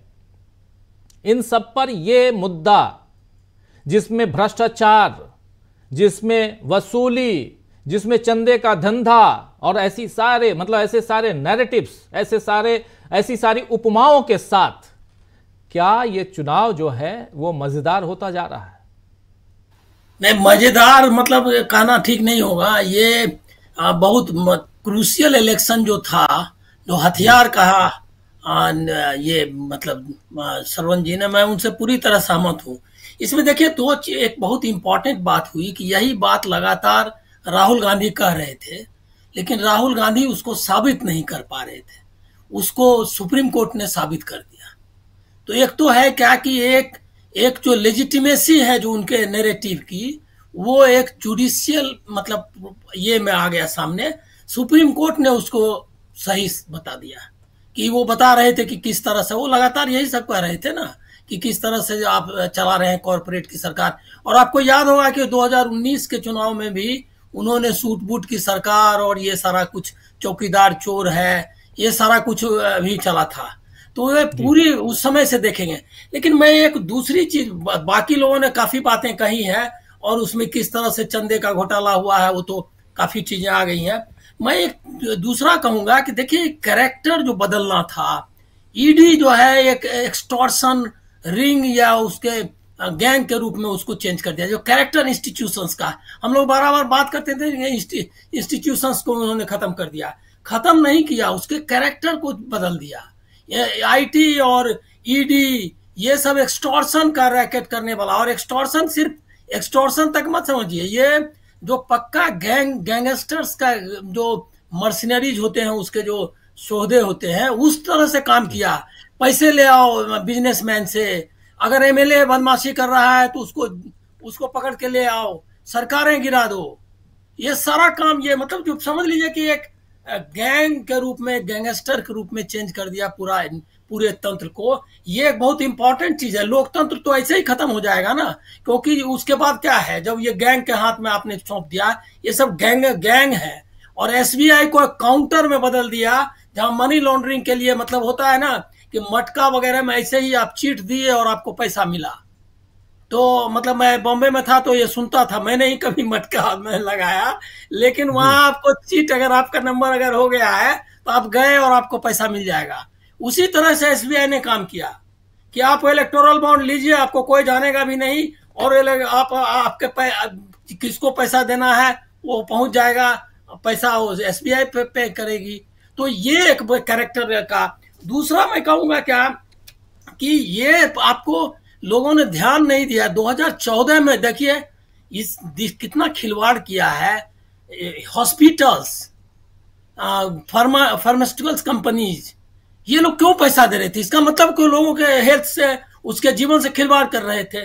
वो कोविशील्ड वाला पैसा मैं कहीं देख रहा था। कोविशील्ड वाले। से हाँ? सीरम सीरम इंस्टीट्यूट हाँ उससे बावन करोड़ का ले लिया। क्यों इसका मतलब यह है या तो जो, जो वो लोगों को सुई लगा रहा था उस सुई में कोई खोट है या सुई लगाने के लिए जो पैसे उसको मिले वो ज़्यादा पैसे मिले। मतलब और वो प्रधानमंत्री खुद उसमें शामिल है। कोविशील्ड वाले मामले में वो गए थे सीरम इंस्टीट्यूट जहाँ तक मेरी यादाश्त काम कर रही है। तो ये यशोदा हॉस्पिटल्स अब हॉस्पिटल में जिस लेकिन मैं एक, एक दूसरी चीज़ आपको कहूँगा कि ये 2014 से ये काम कर रहे थे। लोगों ने ध्यान नहीं दिया। 108 जो मेडिसिन है, जो बहुत ज़रूरी थे, ट्यूबरक्लोसिस, कैंसर ब्लड प्रेशर, वो जो उसको उन्होंने डी कंट्रोल किया। और सिर्फ़ अमेरिकी एक कंपनी थी जिसको फ़ायदा पहुँचाने के लिए। और बस बस दो के उदाहरण मैं आपको दे दूँ जिससे कुछ समझ में क्लियर हो जाए कि पचासी सौ जिसका एट आठ साढ़े आठ हज़ार जिस कीमत थी ग्लेविक करके कोई एक दवा है एंटी कैंसर उसका दाम भी कंट्रोल करने से एक लाख आठ हज़ार रुपया हो गया। मतलब लोगों के लिए सामान्य लोगों के लिए खरीदना संभव नहीं हुआ। और दूसरा एक प्लेविक करके एक दवा है जो या प्लेन्स क्या नाम उसका जरा देख रहा हूँ उस एक रुपये की दवा वो सोलह सौ पंद्रह रुपए में बिकने लगी। और लोगों ने ध्यान नहीं दिया, सारी दवाएँ जो है जो एसेंशियल ड्रग्स थे तो ये जो पैसे दिए हैं फार्मास्यूटिकल कंपनी को, इसीलिए कि आप जो गरीब लोगों को ये करने का मतलब खरीदने की ताकत न रहे। तो इस तरह से पूरा पूरा तंत्र, लोकतंत्र को तो आज मैं सही, सहमत हूँ उनसे कि ये पूरा लोकतंत्र खरीदने के लिए जो दिया है पैसा वो तो है ही लेकिन पूरा एक गैंग चलाने का और ये का। इसमें अभी प्रशांत भूषण का ट्वीट ट्वीट आया है कि 2G स्पेक्ट्रम और जिस तरह से को, कोल स्कैम का एसआईटी बना था उस तरह का एसआईटी बनाओ और इसकी जाँच करो। सुप्रीम कोर्ट की निगरानी में ये काम हुआ था यही काम होना चाहिए। तो अभी इसके बहुत डायमेंशन हैं। इसको सिर्फ़ इंडिया गठबंधन के की एकता से मत देखिए। इसमें बहुत सारे लोग देखिए ऐसा हुआ था जब मोदी के खिलाफ जब जंग शुरू की राहुल गांधी तो जनता उनके साथ आई अकेले अकेले थे। बाद में आपने देखा होगा कि किस तरह से कोई पार्टी उनके साथ नहीं थी। भारत जोड़ो यात्रा जो पहला वन हुआ। लेकिन धीरे धीरे सब पार्टियाँ आई इंडिया गठबंधन बना। अब कुछ भाग भी रहे तो जो नई यात्रा शुरू करने के का मौका दिया है सुप्रीम कोर्ट ने राहुल गांधी को, ये नई यात्रा, लोकतंत्र बचाने की यात्रा है और चुनाव में उनको हराने की यात्रा है। जी, जब यात्रा की बात कर रहे हैं, यात्रा का समापन कल 16 तारीख को है और 17 तारीख को एक रैली है शिवाजी पार्क में, वहाँ मुंबई में। और उस रैली में अभी से जो कन्फर्मेशन है कि कौन कौन लोग आ रहे हैं, उसमें शिवसेना यूबीटी के प्रमुख यानी उद्धव ठाकरे एनसीपी शरद पवार और एनसीपी शरद चंद्र पवार जो उनकी पार्टी। उनके अलावा तेजस्वी यादव, आरजेडी से, स्टालिन डीएमके से, समाजवादी पार्टी के मुखिया अखिलेश यादव, इन तमाम लोगों ने ऑलरेडी कन्फर्मेशन दे दिया है कि हम उस रैली में, परसों की रैली में मौजूद रहेंगे। ज़रा आना चाहता हूँ जल्दी से। डॉक्टर दीपक पाचपोर जी आपके पास। एक तरफ़ राहुल गांधी की बात कर रहे थे अभी हम, अभी हमारे साथी अनिल सिन्हा साहब और उनकी यात्रा। पहली यात्रा, दूसरी यात्रा कल समाप्त हो रही है। लगातार इस यात्रा के दौरान न्याय की बात और उसमें गारंटियों की बात हो रही है और हम लोगों ने देखा कि अलग अलग अलग अलग, चाहे किसान हो, महिला हो, नारी न्याय, बेरोजगारों के लिए, यानी युवाओं के लिए, किसानों के लिए, आदिवासियों के लिए ये तमाम चीज़ें इन लोगों ने रखी हैं और राहुल गांधी नुक्कड़ सभाओं के ज़रिए जनता तक कई बार हम लोग सुनते हैं तो लगता है कि एक ही भाषण वो रिपीट कर रहे हैं। लेकिन शायद वो उनका ज़रिया है वहाँ तक पहुँचना, क्योंकि कांग्रेस ये मान के चल रही है कि उनकी बातें मीडिया जो है वो मास तक नहीं पहुंचाएगा, लोगों तक जन जन तक नहीं पहुंचाएगा, इसलिए जहाँ भी पहुँचते हैं उन बातों को रिपीट करते हैं। यह उनका ज़रिया, उनका तरीका हो सकता है। लेकिन दूसरी तरफ़, क्या आपको लगता है कि इतनी सारी चीज़ें, सुप्रीम कोर्ट ने उन बातों पर मोहर लगा दी है, जे- बात राहुल गांधी 2015 में कर रहे आज एक ट्वीट दिखा रहा था मैं कि 2015 में सूट बूट की सरकार वाली बात कर रहे थे राहुल गांधी और उस समय भी उन्होंने कहा था। अ, अगर उस ट्वीट को जो दिन में दिखाए थे अगर ले आइए स्क्रीन पे तो ज़रूर दिखा दोबारा दिखाएँगे। 2015 का ट्वीट है लेकिन आज वो ट्वीट प्रासंगिक है और इस मसले से प्रासंगिक है। इलेक्टोरल बॉन्ड का मामला जब सुप्रीम कोर्ट का आया है तो जरा आपसे भी समझूं कि क्या यहाँ से नैरेटिव को चेंज होते हुए देख रहे हैं। डॉक्टर दीपक पाचपोर जी ये थी जो तमाम कांग्रेस के अलावा सभी विपक्षी दलों के सामने सबसे बड़ा चैलेंज ये था कि मोदी के बारे में बनाई हुई छवि को पहले कैसे खत्म करना। क्योंकि जब तक लोगों के उनके अपने जो समर्थक है उनका एक बहुत बड़ा जो वर्ग है उनके वोटर्स हैं उनके पार्टी के सदस्य हैं पहले तो उनके दिमाग से उस बात को निकालना था कि जिस व्यक्ति को आप बहुत सारी गलत फहमियाँ लेके चल रहे हैं वैसा इस इंसान में कुछ भी नहीं है। जहाँ तक जिस सूटबूट की बात है, वो भी बाकायदा उनकी छवि निर्माण का ही एक वो हथियार था कि महँगे महँगे कपड़ों के साथ उनको पेश करना, ये करना। ये बताना कि देखिए, एक गरीब परिवार का आदमी जो है कहाँ तक पहुँचा है और किस प्रकार से वो एक तरह से लोगों को प्रभावित करने की कोशिश कर रहा है। लेकिन अभी जो है, पहली बात तो ये कि पैरेलली आपको लगातार बताना आवश्यक है राहुल गांधी के लिए कि किस प्रकार से जो है, ये व्यक्ति जो है और ये जो सरकार है, किस प्रकार से लोगों को लूट रही है। लगातार हैमरिंग जो है उसके बिना आप लोगों के दिमाग को नहीं बदल सकते। ये बिल्कुल वही तरीका है जिस प्रकार से मोदी आप देखिए किस प्रकार से रेटोरिक पिछले दस सालों से एक ही बात कर रहे हैं। परिवारवाद भ्रष्टाचार। जी। जी। ये, ये, ये 16 काफ़ी 16 जून 2015 को 16 जून 2015 को राहुल गांधी ने ट्वीट किया था।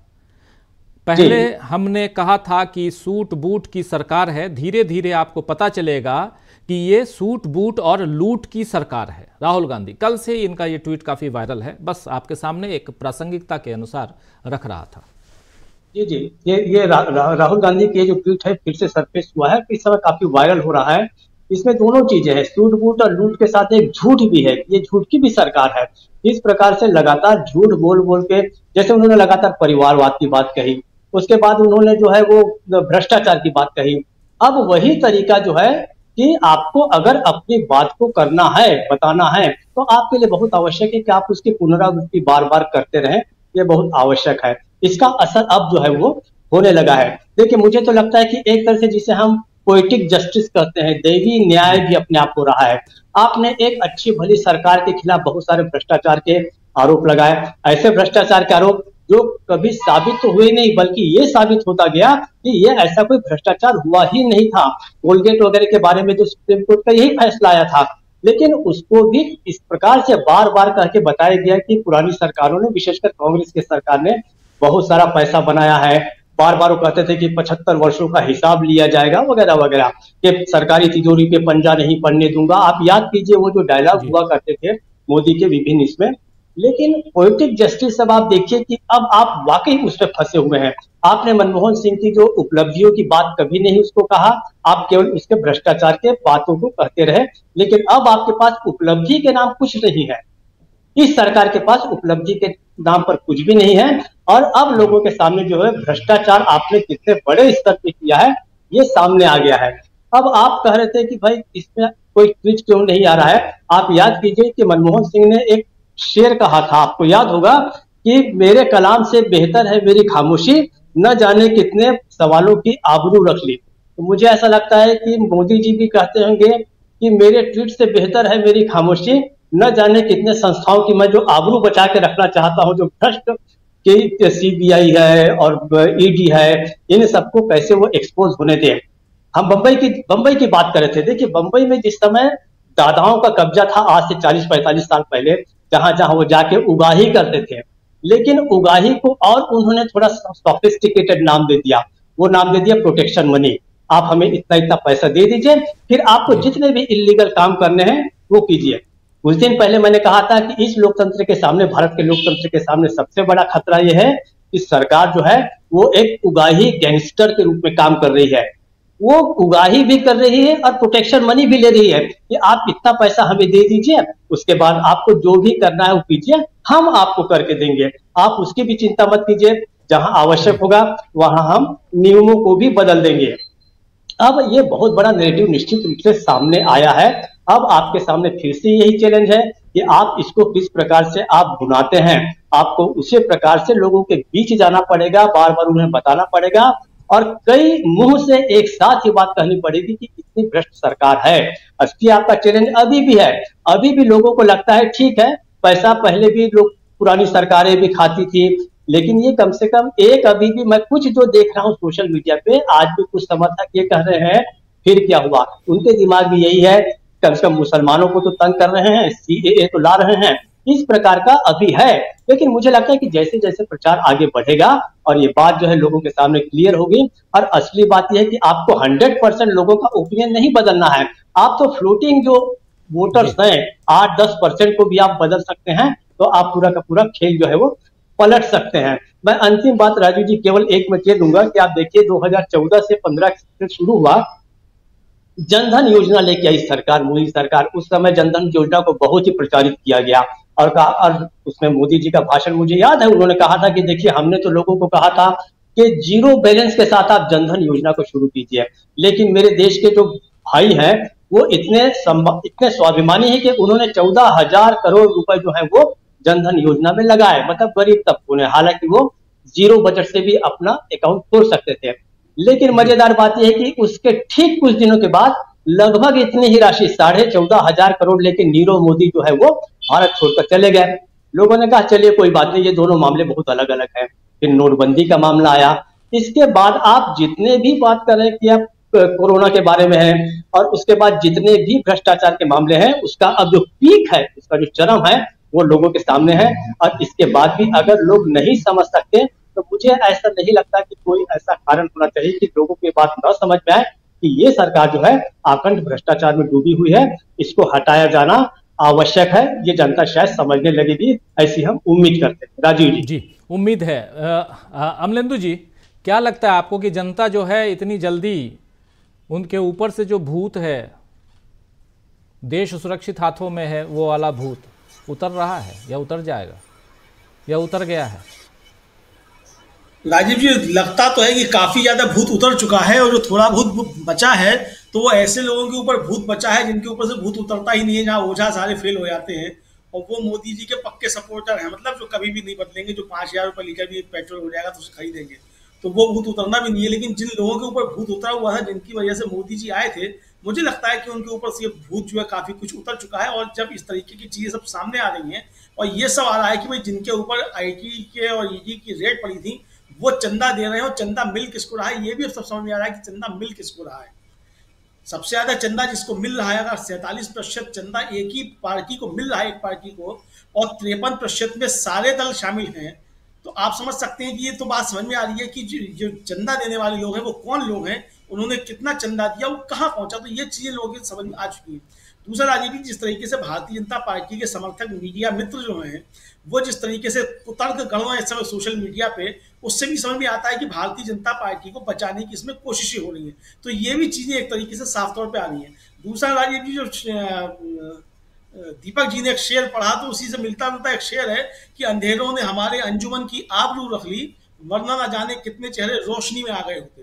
तो अभी तक अंधेरा था तो अंजुमन की आबरू बची हुई थी, ये अंधेरा छट चुका है और रोशनी आ चुकी है। तो उस रोशनी में जो है कुल मिलाकर के भारतीय जनता पार्टी के सामने दिक्कतें आ रही हैं और ये रोशनी जो है वो सुप्रीम कोर्ट ने कर दी है।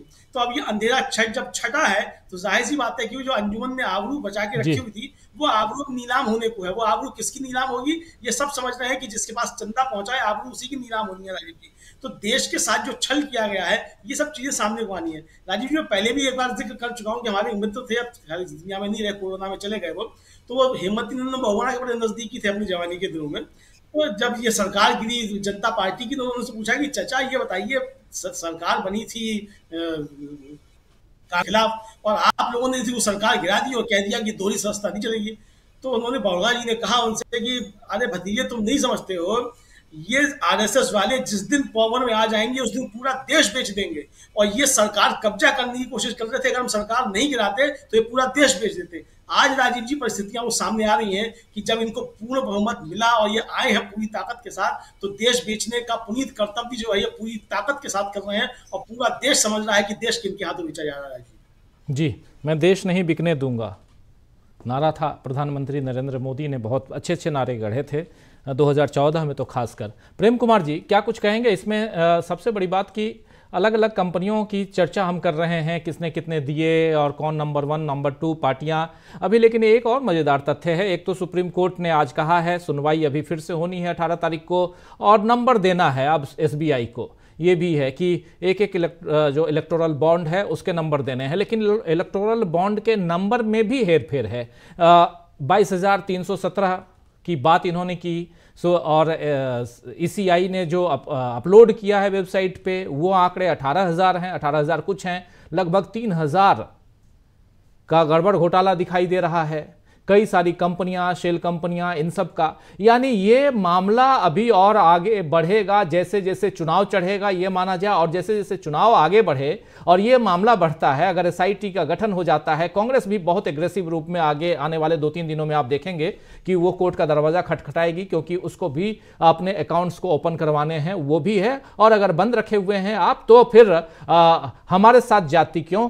चलिए पहले आप छानबीन कीजिए बीजेपी के भी। मतलब एक ऐसी लड़ाई सामने आ रही है, जिस लड़ाई के ज़रिए बहुत कुछ ओपन होता हुआ दिखाई दे रहा है, जो पर्दे के पीछे था। और ये अगर ओपन हो जाता है तो फिर देश की जो सियासी दशा है, उसकी चर्चा अब आपसे, आप लोगों के ज़रिए करना चाहता हूँ। फिर यहाँ से किस दिशा में हम जाते हुए देश को, देश की सियासत को देखेंगे?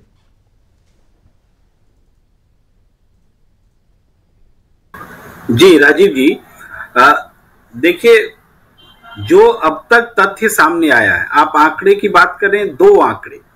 एक तो जो नंबर बोल रहे हैं, जिसको जो जिसको डिकोड करना बोलिए, वो एक अलग चीज़ है।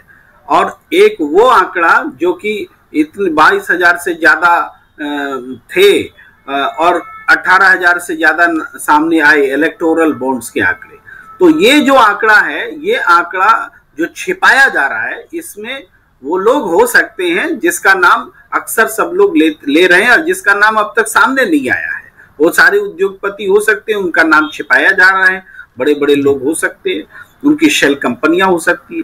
लेकिन जो दूसरा जो आप आंकड़ा बोल रहे हैं, वो है उससे मैच होगा, मिलान होगा कि ये इलेक्टोरल बॉन्ड किसने दिया है और किसके नाम पर दिया है। अभी तो हम सरकमस्टांशियल प्रूफ के साथ बोल रहे हैं कि बीजेपी को दिया है। एकदम पक्के तौर पर नहीं बोल पा रहे हैं। वो जब कोडिंग डिकोड हो जाएगी तो हम पक्के तौर पर बोल पाएँगे। लेकिन ये काम इतना आसान नहीं है। आपको लगता है कि चुनाव तक क्या सरकार ये होने देगी? ये नहीं होने देगी। और ये जब नहीं होगा तो ये बीजेपी के विपक्ष के लिए एक बहुत बड़ा मौका है। क्योंकि इतने तथ्य आ चुके हैं कि हम भी स्पेक्यूलेशन लगाएँगे। हम भी तथ्य लेकर आएँगे। और रोज नए तथ्य लेकर आएँगे और रिसर्च करने के लिए पत्रकार स्वतंत्र हैं परिस्थिति जन्य साक्ष्य सामने लाएँगे और रोज ये मुद्दा बड़ा होगा। सरकार अपने तई इतनी आसानी से ये बता करके बताने नहीं जा रही है कि देखो अडानी ने इतना पैसा दिया और बीजेपी ने इतना पैसा दिया और आप पूरा खोल लीजिए और बता दीजिए और इलेक्शन लड़ लीजिए। ये काम करना पड़ेगा। ये ये एक बात है चुनौती भी है हालाँकि हम थोड़ी सी बात और बोलना चाहते हैं। अभी श्रवण गर्ग सर बोल रहे थे कि नरेंद्र मोदी जी के नाम पर आप ट्वीट कर दीजिए कि प्रधानमंत्री क्या ट्वीट कर सकते हैं। तो मैंने वो काम कर दिया है सर। मैंने लिख दिया कि पीएम मोदी का जमीर जागे तो वो जो ट्वीट कर सकते हैं। मैंने शर्त लगा दिया जमीर जागे क्योंकि जो जागने वाला नहीं है। तो वो लिखेंगे कि अगर मुझ पर, मेरी पार्टी पर, मेरी सरकार पर इलेक्टोरल बॉन्ड स्कैम साबित हुआ तो मैं राजनीति छोड़ दूँगा। इलेक्टोरल बॉन्ड घोटाला का सच सामने लाने के लिए मेरी सरकार कोई कसर बाकी नहीं रखेगी। इलेक्टोरल बॉन्ड्स हम, हमने भ्रष्ट प्रैक्टिस खत्म करने के लिए लाया था, भ्रष्टाचार की गंगा बहाने के लिए नहीं लाया था। इलेक्टोरल मैं शर्मिंदा हूँ कि मेरी सरकार में यह सब हुआ। मैं पहले ही कह चुका हूँ कि जमीर जागेगा तब ये बतौर प्रधानमंत्री लिखना चाहिए मैंने ट्वीट कर दिया है। अब ये जो लड़ाई है ये इस लड़ाई जी जी। जी। इस लड़ाई को आगे बढ़ाना और इलेक्टोरल फ़ील्ड में जाना जनता के पास जाना ये बहुत ज़रूरी है। जी अपनी बात मैं खत्म करता हूँ। जी। जी जी जी। दीपक जी कुछ जोड़ रहे थे। जी दीपक जी। नहीं मैं एक ही मिनट लूँगा। वैसे तो देखिए मतलब समाचार विश्लेषण बड़ा शुष्क विषय होता है लेकिन जो प्रेम कुमार जी ने कानों को जो सुख दिया वो जो वाक्य पढ़ के हालाँकि वो हाइपोथेटिकल ही क्यों ना हो लेकिन अच्छा लगा। बस इसी इतना ही मैं कहना चाहता हूँ। जी जी। सुनील शुक्ला जी आप क्या कहेंगे?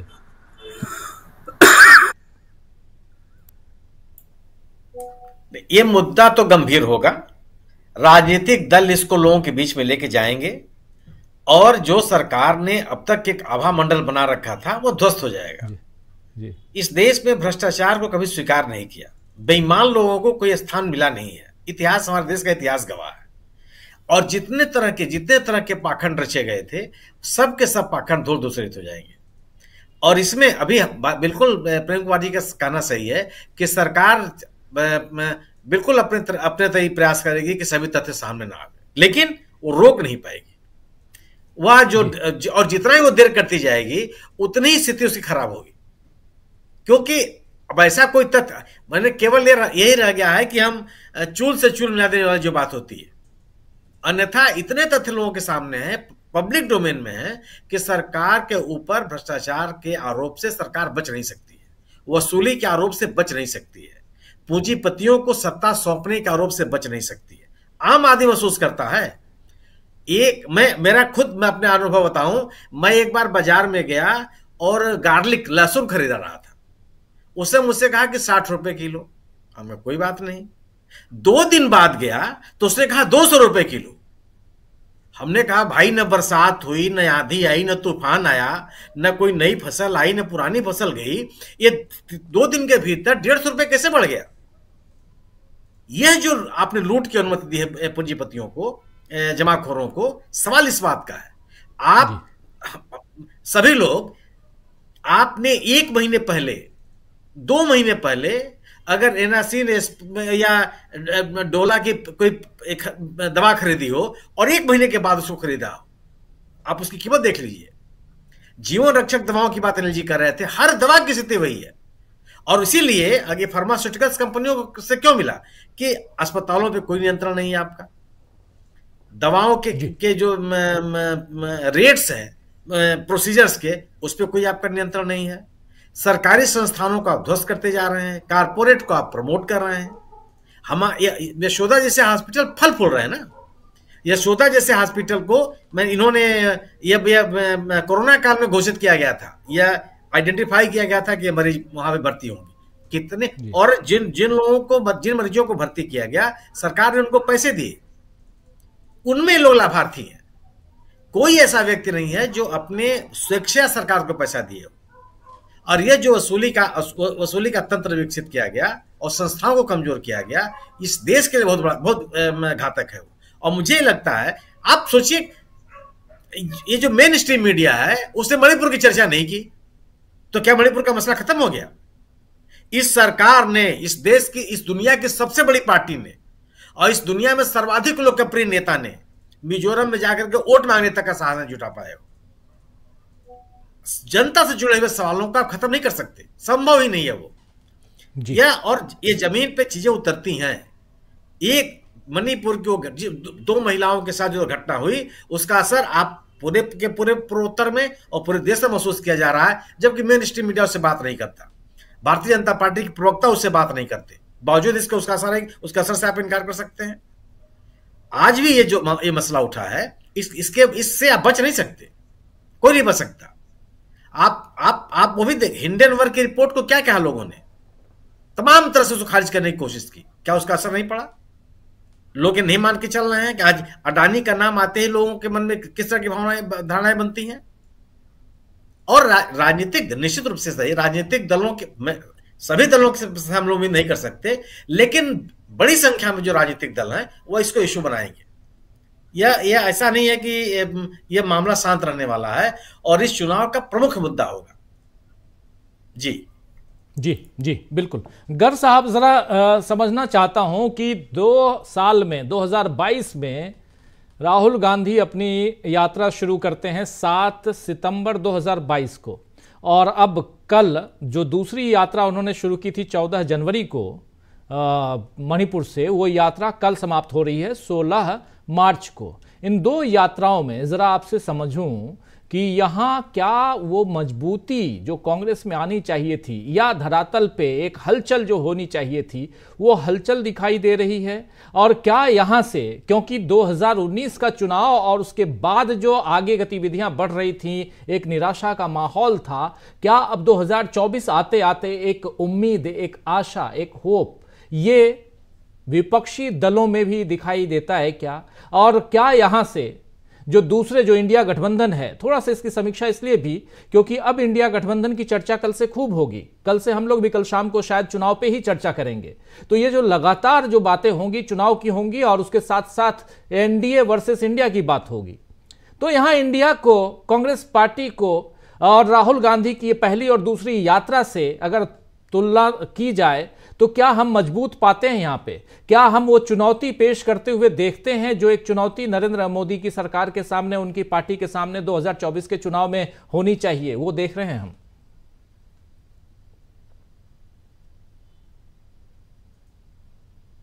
बहुत ही ज़बरदस्त चुनौती पैदा होने वाली है राजीव जी। ये जो दस हज़ार किलोमीटर की यात्रा हुई है दो चरणों में इसकी सबसे बड़ी उपलब्धि यह है कि राहुल गांधी ने देश की जो जनता घर के अंदर थी उसको बाहर सड़कों पे ला दिया। और देश को बताया कि हर जगह कितना विरोध हो रहा है इस हुकूमत का क्योंकि लोग ये मान के चल रहे थे लोगों को ये बताया था कि पूरा देश तो प्रधानमंत्री के साथ खड़ा है। जी। जबकि राहुल गांधी अपनी गाड़ी के ऊपर जिन लोगों को पेश कर रहे थे, वो बता रहे थे कि वो किसके साथ हैं। ये बहुत बड़ा अचीवमेंट है राजीव जी, जो इन दो यात्राओं से प्रकट हुआ है। और इन दो यात्राओं ने बहुत देश के विपक्ष को और देश की जनता को एक नई ताकत दी है, नई ऊर्जा दी है। मैं इसमें कांग्रेस की बात नहीं करना चाहता मैं विपक्ष की बात करना चाहता हूँ। एक सम्मिलित प्रयास की बात करना चाहता हूँ। देखिए ये जो सरकार सत्ता में आई थी 2014 में वो किस मुद्दे पर आई थी? भ्रष्टाचार के मुद्दे पर आई थी। मनमोहन सिंह सरकार के खिलाफ टू जी थ्री जी कोयला इन तमाम चीज़ों को इन्होंने मुद्दा बनाया था। ये सरकार अब भ्रष्टाचार के मुद्दे पर सत्ता से जाएगी। ये जो आपने देखा ना आज आपने ये जो सभा का दिखा रहे हैं जी। इसमें जरा संजय राउत ने क्या कहा वो जरा सुनाइए लोगों को अगर सुना सके तो। जी। जो संजय राउत ने कहा है वो विपक्ष की आत्मा को उन्होंने बताया है। और जो राहुल गांधी को उन्होंने अपनी जो बेस्ट ट्रिब्यूट्स पेश किए हैं संजय राउत ने वो बताता है, जो मुंबई की, जो महाराष्ट्र की सड़कों पर सैलाब उतरा है। ये देख रहे हैं इस भीड़ का, ये ये जो जिसको दिखा रहे हैं, आपने देखा इसकी भीड़ देखी है आपने? जी। आपने लोगों के नाम लिए कौन कौन आने वाला है शिवाजी पार्क में? आम आदमी पार्टी भी जोड़ लीजिए उसमें हाँ जी बिल्कुल। वो भी अरविंद केजरीवाल भी जाने वाले ये हर आदमी को लग गया है आपके देश आपके आपके श्रोताओं को पता है मैं याद दिला रहा हूँ कि भारत की आज़ादी का जो आंदोलन था क्विट इंडिया मूवमेंट वो बंबई के ये अनिल सिन्हा बता सकते हैं कि कहाँ से बंबई के किस मैदान से निकला था। क्विट मोदी मोमेंट निकलने वाला है शिवाजी पार्क से, राजीव जी। ये जितने वक्ता आपने नाम बताए, ये केवल एक बात कहने वाले हैं कि मोदी भारत छोड़ो, मोदी सत्ता छोड़ो। ये जो शिवाजी पार्क की सभा का जो टोन है वो राहुल गांधी ने सेट कर दिया है। उसकी वो क्या कहने वाले हैं लोग उसकी भाषा तय कर दी है। और वहाँ जो भीड़ उमड़ने वाली है जी। वो लोग संभाल नहीं पाएँगे। उसको वो हजम नहीं कर पाएँगे। ये जो आप ये जो जितने नाम आए हैं ना राजीव जी इस लिस्ट में। ये सब बंबई के हैं बड़े बड़े जितने पूंजीपति हैं इनकी कंपनियाँ सब बंबई में इनके ठिकाने सब बंबई में हैं अधिकतर के। आप क्या सोचते हैं कि ये बंबई से पुणे तक क्या होने वाला है? ये ये अब रुकने वाला नहीं है ये जो ताकत मिली है इस राहुल गांधी को दो यात्राओं से और खासकर इस यात्रा से जो तीन सौ सत्तावन सीटों की यात्रा उन्होंने की है, पंद्रह राज्यों की यात्रा की है। आप देख रहे हैं क्या हो रहा है बिहार में? ये चिराग पासवान में ताकत कहाँ से आई है? आप ये मुझे बताइए। ये चिराग पासवान को कैसे तैयार हो गए इतनी सीट देने के लिए? चिराग पासवान को पता है कि उनका मकान कैसे खाली करवाया गया था दिल्ली में? कोई कोई दिखा नहीं रहा है कि किस तरह से वो सामान अपने बंगले से, अपने पिता के बंगले से बाहर निकाल रहे थे और कितना अपमानित किया गया था उनको। आप क्या समझ रहे हैं? ये जो कैबिनेट एक्सपांशन हुआ है बिहार में आज, वो किस चीज़ की देन है?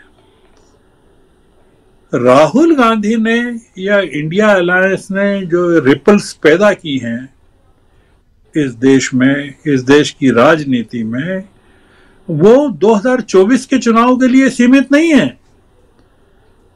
आने वाले तमाम देश के जितने चुनाव हैं, विधानसभा के, लोकसभा के, नीचे पंचायत तक के, वो प्रभावित होने वाले ये जो जमावड़ा हो रहा है ये बॉम्बे में ये इंडिया अलायंस का कॉन्क्लेव है। जी। और इसमें घोषणा होने वाली है कि क्या घोषणा होती है उसकी प्रतीक्षा करना होगी हमको क्या घोषणा होती है। तो ये लड़ाई जो प्रेम कुमार जी ने बात कही थी कि सब लोगों को लड़ना चाहिए ये लड़ेंगे सब लोग लड़ेंगे। और लड़ना पड़ेगा। ये मौका अगर चूक गए,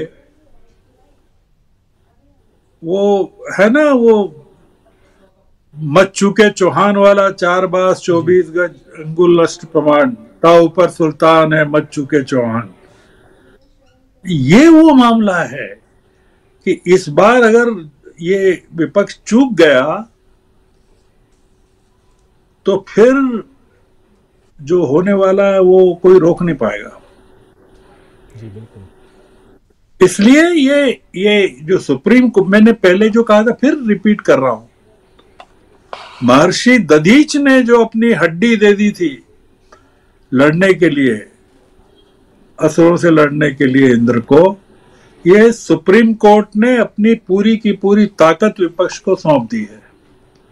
चंद्रचूड़ ने अपनी पूरी ताकत सौंप दी है।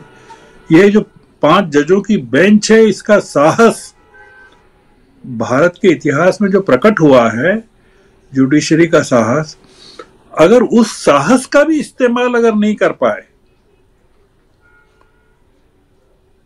तो ये देश की जनता तक ले जाने की बात है। और मुझे पूरा यकीन है कि ये जो यात्रा है, इसका जो समापन है, और इसकी जो मतलब कल घोषणा है चुनाव की और उसके बाद तत्काल बाद सभा है शिवाजी पार्क में सत्रह तारीख को। आप देखिएगा कि उसका क्या असर होता है। महाराष्ट्र में 48 सीटें हैं राजीव जी। जी। नींद उड़ी हुई है। पूरे के पूरे एनडीए की। नींद उड़ी हुई है एनडीए की बिहार में। आप क्या समझते हैं? ये कोई ये अगर कोई बहुत बड़ी बेईमानी नहीं हुई तो इस चुनाव के परिणाम आप अभी से लिख सकते हैं पर अब क्या कह सकते हैं? जी बिल्कुल। प्रधानमंत्री के चेहरे आप, पर आप अगर कह इतना कॉन्फिडेंस को सुनाने बस एक मिनट में सुना देता हूँ। और फिर हमारे दो साथी हैं। जल्दी जल्दी आप लोगों से भी एक एक कमेंट लूँगा। छोटा सा समय निकल चुका है, लेकिन माफ़ी के साथ थोड़ा सा। संजय राउत भाषण दे रहे थे उसी मंच से और उन्होंने जो कुछ कहा है, जरा सुन लेते हैं। सुनिए।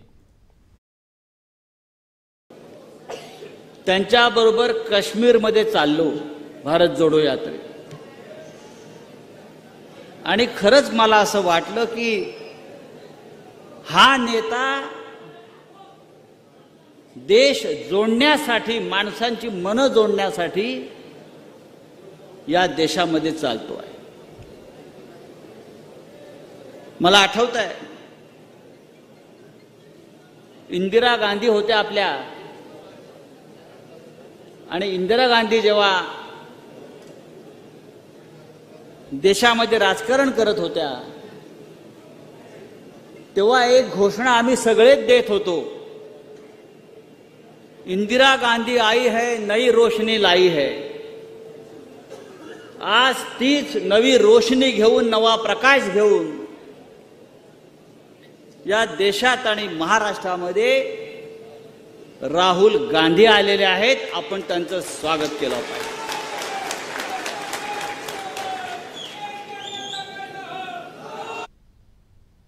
तो बहुत सारी बातें, लेकिन बहुत महत्वपूर्ण बात यहाँ कहते हुए इसी भाषण में, मराठी में भाषण, लेकिन स्वागत भाषण राहुल गांधी की इस यात्रा में इंदिरा गांधी के समय क्या कुछ कहा जाता था? इंदिरा गांधी आई हैं, राष्ट्र में नई रोशनी लाई हैं, और वही महाराष्ट्र की बात कर रहे थे यहाँ संजय राउत। यानी कि चारों तरफ़ जो एक सबके बीच जो समन्वय होना चाहिए पार्टियों के बीच, वो साफ़, वो तालमेल दिखाई देता है। हम लोग भी अलग अलग यात्राओं में और इनकी, खासकर जो इंडिया गठबंधन की जो बैठकें हुई मुंबई में या बेंगलुरु में या दिल्ली में, इन बैठकों को बहुत नज़दीक से देखा और यहाँ इन लोगों के बीच एक कोऑर्डिनेशन एक समन्वय दिखाई देता रहा। हालाँकि थोड़ा बाद में उखड़े हुए नज़र आते थे, नीतीश कुमार जिनकी परिणति हम लोगों ने देख ली है। लेकिन बाकी नेताओं के बीच वो तालमेल दिखाई देता है और उसी का एक नमूना हम एग्ज़ाम्पल हम यहाँ देख रहे थे। जल्दी से अनिल सिन्हा साहब।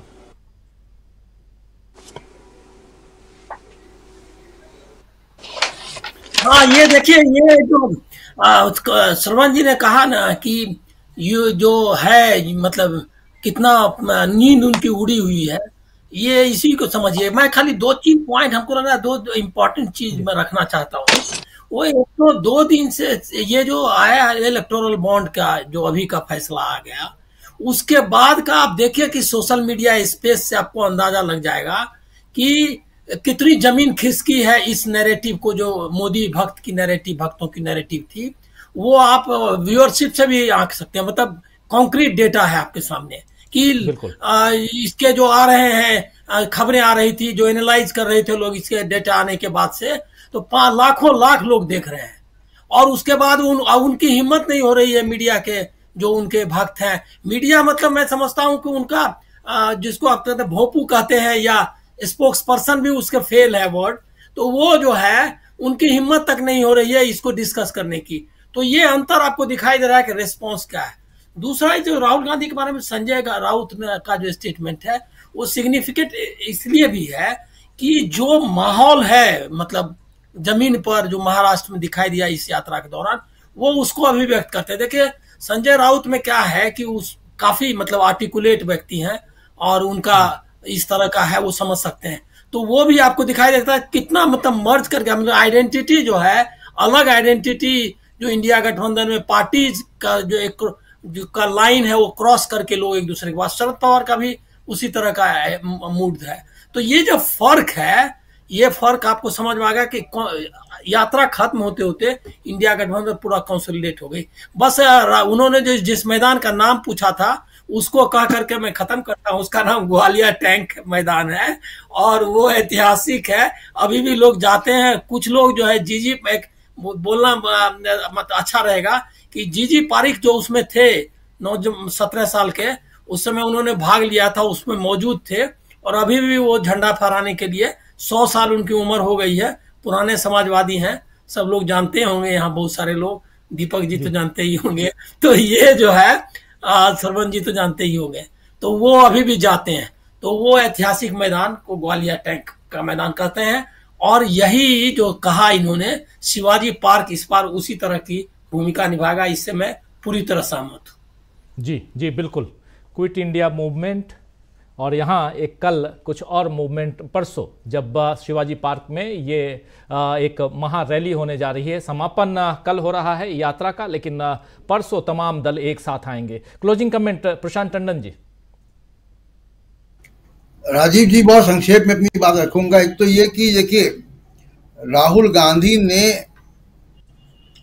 पिछले एक डेढ़ साल में भारत या, जोड़ो यात्रा के दौरान पूरे देश को तैयार तो कर दिया। एक नैरेटिव दे दिया। एक तस्वीर उन्होंने बना दी थी। सुप्रीम कोर्ट ने दीवार में कील ठोक दी उस तस्वीर को टांगने के लिए।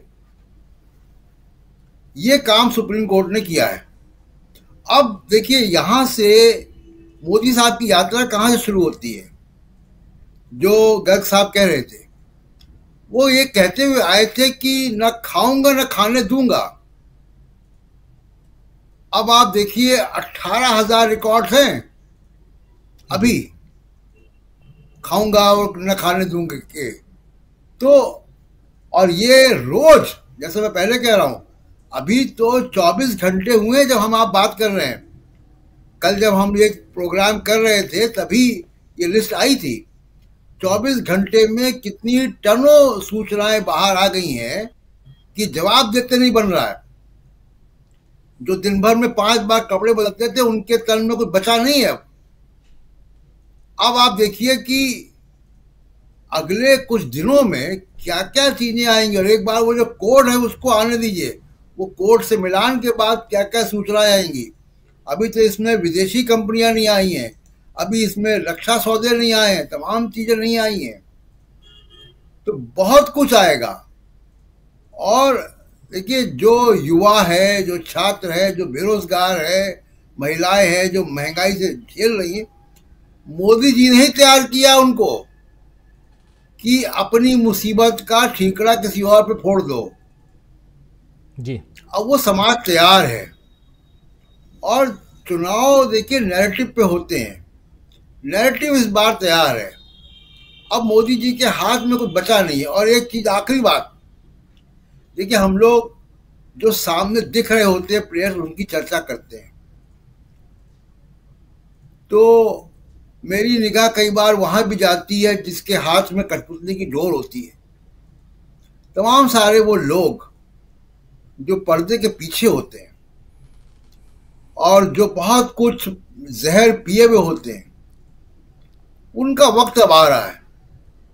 कल के बाद, जैसे मैंने कहा कि कल के बाद Narendra Modi ji caretaker prime minister होंगे। वो कोई संसद का अधिवेशन नहीं बुला सकते, वो लोकसभा नहीं भंग कर सकते, वो तमाम चीज़ें नहीं कर सकते हैं कल के बाद। किसी के ट्रांसफ़र पोस्टिंग सेंशन नहीं कर सकते जब तक कि बहुत ज़रूरी ना हो। उसके बाद ये जो बहुत सारे अध्यक्ष लोग हैं ये अपना काम शुरू करेंगे। तो आप देखिएगा कि चुनाव किस दिशा में जाएगा और ये जो अभी 24 घंटा लगा है ये सूचना आने में इस तरीके की न जाने कितनी सूचनाएँ आएँगी। मोदी साहब अकेले इसका सामना नहीं कर पाएँगे। ये चुनाव उनके हाथ से जा चुका है। राजीव जी। जी। चुनाव हाथ से जा चुका है। अब चुनाव को अपने हाथ में कैसे लेके आते हैं नरेंद्र मोदी, ये देखना होगा, लेकिन कल तीन बजे चुनाव की घोषणा हो रही है और उससे पहले जितनी सारी चीज़ें धरातल पे हैं और खासकर जैसे अभी बता रहे थे प्रशांत टंडन जी की तस्वीर तो बना दी राहुल गांधी ने, लेकिन उसको दीवार में टांगने के लिए जो कील ठोकना होता है, वो काम सुप्रीम कोर्ट ने कर दिया है। तो यहाँ से वो तस्वीर, जो चुनावी तस्वीर है वो कैसी दिखाई देती है जब पर्दा हटेगा तो वो भी हम देख लेंगे। राहुल गांधी ने अपने लिए, अपने साथियों के लिए, यानी साथियों मतलब इंडिया गठबंधन के लिए ज़मीन को उर्वरक बना दिया है। अब खेती करने का काम सबका है, कार्यकर्ताओं का भी है। देखते हैं आगे क्या कुछ होता है। बहुत बहुत शुक्रिया अदा करना चाहता हूँ आप तमाम साथियों का। श्रवण गर्ग साहब आपका, अनिल सिन्हा जी, प्रशांत टंडन जी, प्रेम कुमार जी, सुनील शुक्ला जी, डॉक्टर दीपक पाचपोर जी और अमलिंदु उपाध्याय जी, आप सबका बहुत शुक्रिया, बहुत धन्यवाद। और आप तमाम साथी जो हमारे साथ बने हुए हैं, लगातार इस कार्यक्रम को देख रहे हैं, आप सबका भी शुक्रिया अदा करता हूँ कि लगातार आप लोग बने हुए, लंबा प्रोग्राम हो जाता है, लेकिन इतनी गहन चिंतन, मनन और बहुत सारी बातें और एक साथ सात सात वरिष्ठ पत्रकारों की बातें आप तक हम पहुंचाते हैं। छः सात तो रोज रहते हैं लगभग और इसलिए भी ज़रूरी है कि अलग अलग विचार आप लोगों तक पहुँचे। हम सब भी एक गहन चिंतन मनन करें। देश में बहुत सारी चीज़ें और वो जो मुर्गा लड़ाई आप जानते हैं, दो मुर्गों की लड़ाई, वैसा हम यहाँ नहीं करवाते हैं क्योंकि वो काम वही होने दीजिए जहाँ होता है कि दो दलों के नेताओं को बैठा करके और उसके बाद एंकर जो है वो चुपचाप बैठा रहता है, बाकी वो दोनों लड़ते हैं, झगड़ते हैं और 40 मिनट 45 मिनट का शो खत्म। लेकिन यहाँ पर, यहाँ से इस, इन कुछ विचार जो हैं, वो उत्पन्न होते हैं, कुछ चीज़ें, और जो देश के लिए, इस लोकतंत्र के लिए, हमारे संविधान संविधान की रक्षा के लिए ज़रूरी हैं। और कल से हमारा जो दिन है, वो एक अलग दिशा में जाता हुआ दिखाई देगा, क्योंकि कल तीन बजे के बाद जो समय की शुरुआत होगी, वो एक उम्मीदों भरा समय होगा, क्योंकि यहाँ से प्रधानमंत्री Narendra Modi acting prime minister होंगे, और क्या वो एक्टिंग के बाद आने वाले समय में रिज़ल्ट जो है उनके खिलाफ जाएगा या रिज़ल्ट को अपनी मुट्ठी में ले आएँगे, जैसा 2019 में हुआ था?